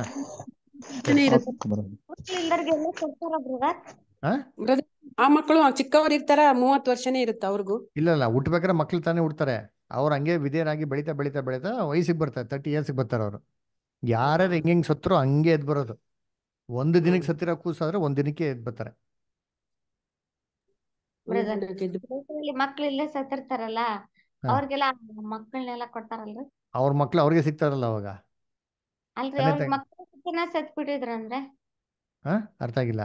ಅಪ್ಪ ಅಮ್ಮ ಮಕ್ಳಿಲ್ಲನೆ ಸತ್ತಿದ್ರು ತಂದೆ ತಾಯಿ. ಅವ್ರಿಗೆ ಯಾರ್ಯಾರೋ ಬೇರೆ ಬೇರೆ ಮಕ್ಕಳನ್ನ ಇವ್ರಿಗೆ ಮಕ್ಳಿಲ್ಲ ಅಂತ ಕೊಡ್ಬೋದಲ್ಲ. ಕೊಡ್ಬೋದು. ಎಲ್ಲರೂ ಕಾಮನ್ ಆಗಿರ್ತಾರಲ್ಲ ಸರ್ ಅವಾಗ. ಇವ್ ನೋಡಿ ಮದ್ವೆ ಅಂತ ಕಾನ್ಸೆಪ್ಟ್ ಇಲ್ಲ ಅಂತ ಅಂದ್ಮೇಲೆ ಆಮೇಲೆ ಎಲ್ಲರೂ ಈಕ್ವಲ್ ಆಗಿರ್ಬೇಕಾದ್ರೆ ಅಲ್ಲಿ ನಮ್ದು ನಿಮ್ದು ಅಂತ ಅಂದ್ಬಿಟ್ಟು ಏನಾಗಿರಲ್ಲ, ಇರಲ್ಲ. ಎಲ್ಲರೂ ಸಂತೋಷವಾಗಿ ಒಟ್ಟಿಗೆ ಏನಾಗಿರ್ತಾರೆ, ಇರ್ತಾರೆ ಅಲ್ವರ? ಆ ರೀತಿ ಇರ್ಬೇಕಾದ್ರೆ ಅವಾಗ ಎಲ್ಲರೂ ಎಲ್ಲರೂ ಹಂಚ್ಕೊಂಡಿರ್ಬೇಕಾದ್ರೆ ಸಂತೋಷವಾಗಿ ಇರ್ತಾರೆ ಹೌದು ಓಕೆ brother. ತಂದೆ ನಮ್ದು ಗುರ್ತಿಡಿತಾರ ಅವಾಗ. ಗುರ್ತಿಡಿತಾರೆ ಗುರ್ತಿ ನಾವೆಲ್ಲ ನೀವ್ ನೀವ್ ಇರ್ತೀರ ಇಲ್ಲೇ ನಾವೆಲ್ಲ ಇರಲ್ಲ. ಇದು ಲೋಕ ಜನಗಳು ಇರ್ಬೇಕಾದ್ರೆ ಪ್ರತಿಯೊಬ್ಬ ಪುನರ್ತನಾಗಿ ಬಂದಿರೋ ವ್ಯಕ್ತಿ ಇನ್ನೊಬ್ಬ ಪುನರ್ತನಾಗಿರೋ ವ್ಯಕ್ತಿನ ಕ್ಲೀನ್ ಆಗಿ ಅವರು. ವಾ. ಬಟ್ ನನ್ಗೆ ನನ್ನ ತಂದೆ ತಾಯಿ ನೋಡಕ್ ಆಗಲ್ಲ ಹ್ಮ್ ನೀವು ಪರಲೋಕದಿಂದ ನೋಡ್ಬೋದು ಬಿಡಿ ತಲೆ ಕೆಡ್ಸ್ಕೊಂಡ್ಬಿಡಿ ಅಲ್ಲಿ ನಮ್ಗೆಲ್ಲ ಕ್ಲಿಯರ್ ಆಗುತ್ತೆ ದೇವ್ರ ಜ್ಞಾನ ಕೊಡ್ತಾನಲ್ವ ಬ್ರದರ್ ಗುರ್ತಿಸಕ್ಕೆ? ಖಂಡಿತ ಬ್ರದರ್ ಖಂಡಿತ ಹೋಗಿ ದೇವರ ಜ್ಞಾನ ಕೊಡ್ತಾರೆ. ಐಡೆಂಟಿಫಿಕೇಶನ್ ಕೂಡ ಕ್ಲೀನಾಗಿ ಮಾಡ್ಬೋದು. ಸೆನ್ಸಸ್ ಅಲ್ಲೇ ಇರ್ತದೆ ವಾಕ್ಯನೇ ಇದೆ. ಅಲ್ಲಿ ಸೆನ್ಸಸ್ ನಡೀತಾರೆ ಇಂತಿಂಥ ವ್ಯಕ್ತಿ ಹಿಂಗೆ ಹಿಂಗಿದ್ರು ಅಂತ ಕ್ಲೀನಾಗೆ ದೇವರು ಗೋಚರ ಪಡಿಸ್ತಾರೆ. ಇಲ್ಲ ಅಂದ್ರೆ ಏನು ಪ್ರಯೋಜನ ಹೇಳಿ? ಇವಾಗ ನಮ್ಮ ತಾತ ಸತ್ತೋಗಿದ್ದಾರೆ. ನಮ್ಮ ತಾತ ನಮ್ಮ ತಂದೆನ ಕಂಡಿಡಿಲ್ಲ ಅಂದ್ರೆ ಏನು ಪ್ರಯೋಜನ? ಇಬ್ರು ಹೆಂಗೆ ಒಟ್ಟಿಗೆ ಸಂತೋಷವಾಗಿರೋಕ್ಕೆ ಸಾಧ್ಯ? ಸೊ ಅದು ಐಡೆಂಟಿಫಿಕೇಶನ್ ಇದ್ದೇ ಇರ್ತಾರೆ. ಈವನ್ ಹಿಟ್ಲರ್ ಹಿಟ್ಲರ್ ಸತ್ತೋಗಿದ್ಮೇಲೆ ಹಿಟ್ಲರ್ ಯಾರನ್ನ ಸಾಯ್ತಾರೋ ಯೌದ್ರೆಲ್ಲ ಬಂದು ಹಿಟ್ಲರ್ನ ಕಂಡಿಡಿತಾರೆ. ಅವಾಗೇ ಅವನು ಸಾರಿ ಅಪ್ಪ ಆಯ್ತು ನನ್ನ ತಪ್ಪಾಯ್ತು ನಾನು ಇನ್ಮೇಲೆ ಮಾಡಲ್ಲ ಅಂತ ಅಂತ ಹೇಳೋದಕ್ಕೆ ಅವಕಾಶ ಆಗೋದು. ಅವಾಗ ಅವರು ಶಂಸದಿಗೂ ಕೂಡ ಒಂದು ಅವಕಾಶ ಆಗ್ತದೆ. ಬ್ರದರ್ ಇನ್ನೊಂದು ಕ್ವಶನ್. ಆಗ ಎಲ್ರು ಎದ್ದಾಳ್ತಾರಲ್ವಾ? ಒಂಥರ ಅವಿಭಕ್ತ ಕುಟುಂಬ ತರ ಎದ್ದೇಳ್ತಾರಲ್ಲ ಬ್ರದರ್ ಆಗ ಅವ್ರೆಲ್ಲರೂ ಒಂದೇ ಜಾಗದಾಗ ಇರ್ತಾರ ಅಥವಾ ಈ ಲೋಕದ ಬೇರೆ ಬೇರೆ ಜಾಗದಾಗ ಇರ್ತಾರ ಅಂತ ಪ್ರಶ್ನೆ. ಅದು ನಾವು ಇಮ್ಮಿಡಿಯೇಟ್ ಆಗಿ ಹೇಳೋದಕ್ಕಾಗಲ್ಲ. ಅಂದ್ರೆ ಸತ್ಯವೇದಲ್ಲಿ ಎಲ್ಲ ಒಗ್ಗಟ್ಟಿಂದ ಇರ್ತಾರೆ ಎಲ್ಲ ಒಂದೇ ಮನೇಲಿ ಇರ್ತಾರ ಅಂತ ನೋಡ್ಬೇಕಾದ್ರೆ ಎಲ್ಲರಿಗೂ ಸ್ವಂತ ಮನೆ ಇರ್ತದೆ. ಸೊ ನಾವು ಎಣಿಸಿದ ಪ್ರಕಾರ ಒಬ್ಬೊಬ್ರಿಗೂ ವಿಶಾಲವಾಗಿರೋಂಥ ಸ್ಥಳಗಳಿರ್ತಾರೆ. ಅವರೇ ವ್ಯವಸಾಯ ಮಾಡೋ ಥರ ಇರ್ತಾರೆ. ಆಮೇಲೆ ಅವರೇ ಏನ್ರೆ ದೇವ್ರ ಮಾರ್ಗದ ನಡೆಯಂತ ರೀತಿ ಇರ್ತದೆ ಸೊ ಒಟ್ಟಾಗೂ ಇರ್ಬೋದು ಅಲ್ವರ? ಸೊ ಇವಾಗ ಎಕ್ಸಾಂಪಲ್ ಹೇಳ್ಬೇಕಾದ್ರೆ ಇವಾಗ ನಾವೇನೋ ಮನೆ ಇದೆ ಅಂತಂದ್ರೆ ನಾವೆಲ್ಲ ಏನ್ ಮಾಡ್ತೀವಿ ಒಂದು ಗೆಟ್ ಟುಗೆದರ್ ಅಲ್ಲಿ ಎಲ್ಲ ಒಟ್ಟಿಗೆ ಸೇರ್ತಿರಲ್ವಾ? ಆ ಥರ ಏನಾಗಿರ್ತಾರೆ ಇರ್ತಾರೆ. ಸೊ ಸೇರಿದವಾಗ ಹೆಂಗಿರ್ತಾರೆ? ಸಂತೋಷದಿಂದ ಪ್ರೀತಿಯಿಂದ ಇರ್ತಾರೆ. ಇನ್ನೊಂದು ಬ್ರದರ್ ಏನಂದ್ರೆ ಆ ಟೈಮಲ್ಲಿ ನಾವು ಒಂದು ವಾಕ್ಯ ನೋಡಕ್ಕಾರ ದೇವ್ರು ಆಗ ಒಂದ್ ಇದನ್ನ ಹೇಳಿದ್ರೆ ಈ ಲೋಕದಾಗ ಎಲ್ಲರೂ ಸತ್ತರ್ ಎದ್ದು ಬಂದ್ರೆ ಒಂದು ಕೇರಳದಲ್ಲಿ ಒಂದ್ ಭಾಗದಲ್ಲಿ ನಿಂದ್ರಿಸ್ಬಿಡ್ಬೋದು ಬರೀ ನಿಂದ್ರಿಸಿದ್ರ ಅಂತ ಹೇಳಿದ್ರಲ್ಲ ಆ ತರದಲ್ಲಿ ಬೆಕ್ಕದಂಗ್ ಕೊಡ್ತಾರೆ. ಅದು ಒಳ್ಳೆ ವಿಚಾರನೆ. ನನ್ ಪ್ರಶ್ನೆ ಈಗ ಕೆಲವರು ಇದ್ದು ಸತ್ತರ ಊರಲ್ಲೇ ಎದ್ದಾಳ್ತಾರ ಎದ್- ಎದ್ದೇಳ್ತಾರ ಅಂತ ಪ್ರಶ್ನೆ. ಹೌದೌದು. ಇವಾಗ ಅಮೆರಿಕಲ್ ಹುಟ್ಟಿರೋರು ಅಮೆರಿಕಲ್ ಎದ್ ಬರ್ತಾರೆ. ಖಂಡಿತ ಆಫ್ರಿಕಲ್ ಎದ್ದು ಬಂದ್ರೆ ಪ್ರಶ್ನೆ ಅವ್ನು. ಅಲ್ಲಿ ಕಂಡಿಡಿಯೋರು ಯಾರಾಗಾರೆ ಅವರು ಆ ಸ್ಥಳದಲ್ಲೇ. ಅದಕ್ಕೆ ಯೋಬಲ್ಲಿ ಒಂದು ವಾಕ್ಯ ಇದೆ. ಮರ ಎಲ್ಲಿ ಬಿದ್ದಿರ್ತಾರೋ ಅಲ್ಲೇ ಚಿಗಿರ್ತಾರೆ ಅಂತ ಕೊಟ್ಟಾರೆ. ಆ ವಾಕ್ಯ ನಾನು ನೋಡ್ಬಿಟ್ಟು ಹೇಳ್ತೀನಿ ನಿಮ್ಗೆ. ಯೋಬನಲ್ಲಿ ಇದೆ ಸೊ ಆ ಎಲ್ಲೆಲ್ಲಿ ಸತ್ತಿದ್ರು ಅಲ್ಲೆಲ್ಲ ಎದ್ ಬರ್ತಾರೆ. ಇವಾಗ ಇಮ್ಯಾಜಿನ್ ಮಾಡಿ ನಮ್ಮನ್ನ ತೊಗೊಂಡೋಗ್ಬಿಟ್ಟು ಎಕ್ಸಾಂಪಲ್ ಹೇಳೋದು. ಅದರ ನಾವೆಲ್ಲ ಲೋಕಲ್ ರಕ್ಷಣೆ ಬರಲ್ಲ. ಎಕ್ಸಾಂಪಲ್ ಹೇಳ್ಬೇಕಾದ್ರೆ ಇಂಡಿಯಾದ ಹತ್ತಿರ ಅಂತ ತೊಗೊಂಡ್ಬಿಟ್ಟು ಎಲ್ಲ ಜಿಂಬಾಬ್ವೆಲಿ ಥರ ಮಾಡಿಸ್ಬಿಟ್ರೆ ಪಾಪ ಟೋಟಲ್ ಕನ್ಫ್ಯೂಸ್ ಆಗ್ಬಿಡ್ತಾರೆ ಅವರು. ಓಕೆನಾ? ಸರಿ ಬೇರೆ ಏನೋ ಡೌಟ್ಸ್ ಇದೆಯಾ? ಓಕೆ ಇದು ಕ್ಯೂರಿಯಾಸಿಟಿ ಕ್ವಶನ್ ಬ್ರದರ್. ಖಂಡಿತವಾಗಿ ಕೇಳಿ. ಇವೆಲ್ಲ ಆರನೇ ಏನಂದ್ರೆ ಈಗ ಉದಾಹರಣೆ ಯಾವ್ದೋ ಮಗು ಎಲ್ಲ ಅಲ್ಲೇ ಹೋಗಿರ್ತಾರೆ ಅಲ್ಲ ತಗೊಂಡೋಗಿರ್ತಾರೆ. ಅದ್ ಅಥವಾ ನೀರಲ್ಲಿ ಮುಳುಗಿ ಹೋಗಿರ್ತತಿ ಇಲ್ಲ ಸುಟ್ಟೋಗಿರ್ತತಿ ಅವ್ರ ತಂದೆ ತಾಯಿ ಯಾವ್ದೋ ಒಂದು ಊರಲ್ಲಿ ಹುಟ್ಟಿರ್ತಾರ. ಆ ಮಗು ಎದ್ದಾಗ ಅದನ್ನ ಅಲ್ಲಿ ಹೆಂಗ್ ಕನೆಕ್ಟ್ ಇರ್ತದ ಆ ಟೈಮಲ್ಲಿ ಟ್ರಾನ್ಸ್ಪೋರ್ಟ್ ಸಿಸ್ಟಮ್ ಹೆಂಗನ ಅಂತ ಔಟ್ ಆಫ್ ಕ್ಯೂರಿಯಾಸಿಟಿ ಇವಾಗ ಹೆಂಗ್ ಗೊತ್ತಾ? ಲಾಜುರಸ್ನಲ್ಲಿ ಪುನರ್ತನ ಮಾಡುದು ಎಲ್ಲಿ ಶಾವ ಆಯ್ತು ಅಲ್ಲಿ ಮಾಡುದು ಪುನರ್ತನ. ಮಾಡುದು ಯಾಕಂದ್ರೆ ಲಾಜುರಸ್ ಮನೆ ಅಲ್ಲೇ ಇತ್ತು. ರೈತರ ಮಗು ಎಲ್ಲೋ ಅಮೆರಿಕಲ್ ಸತ್ತೋಗಿರ್ಬೋದು ಅಪ್ಪ ಅಮ್ಮ ಏನಾಗಿರ್ಬೋದು ಇಂಡಿಯಲ್ಲಿ ಬದುಕಿರ್ಬೋದು ಅವ್ರು ಎಲ್ಲಿ ಪ್ರೇಯರ್ ಮಾಡ್ತಾರೋ ಮಗು ಏನಾಗ್ತಾರೆ ಅಲ್ಲಿ ಎದ್ದು ಬರ್ತದೆ.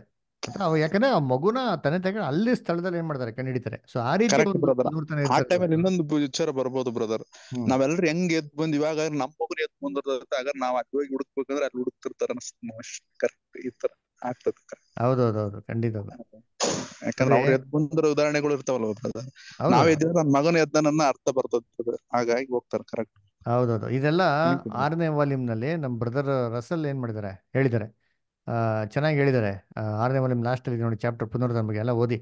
ಮೊನ್ನೆ ಕೂಡ ನಮ್ಮ ಏನ್ರಿ ನಾಯಕ್ ಬದರು ಸಭೆ ಸಬ್ಜೆಕ್ಟ್ ತೆಗೆದ್ರು ನೋಡಿ ಸಭೆ ಸಭೆಯಲ್ಲಿ ಚೆನ್ನಾಗಿ ತೆಗೆದವರು ಪುನರುತ್ಥಾನ ಬಗ್ಗೆ. ಎಲ್ಲ ಡೀಟೇಲ್ ಆಗಿದೆ ಎಲ್ಲ ಓದ್ರಿ ದಯವಿಟ್ಟು ನೀವೆಲ್ಲ. ಓಕೆ ಬೇರೆ ಏನಾದ್ರು ಡೌಟ್ಸ್ ಇದೆಯಾ? ಪ್ರೇಮ ಕ್ಲೋಸ್ ಮಾಡೋಣವಾ? ಓಕೆ ದೆನ್ ಹಂಗಾರೆ ಬಸವರಾಜ್ ಬುದರ್ ಪ್ರೇಮ್ ಮಾಡಕ್ಕೆ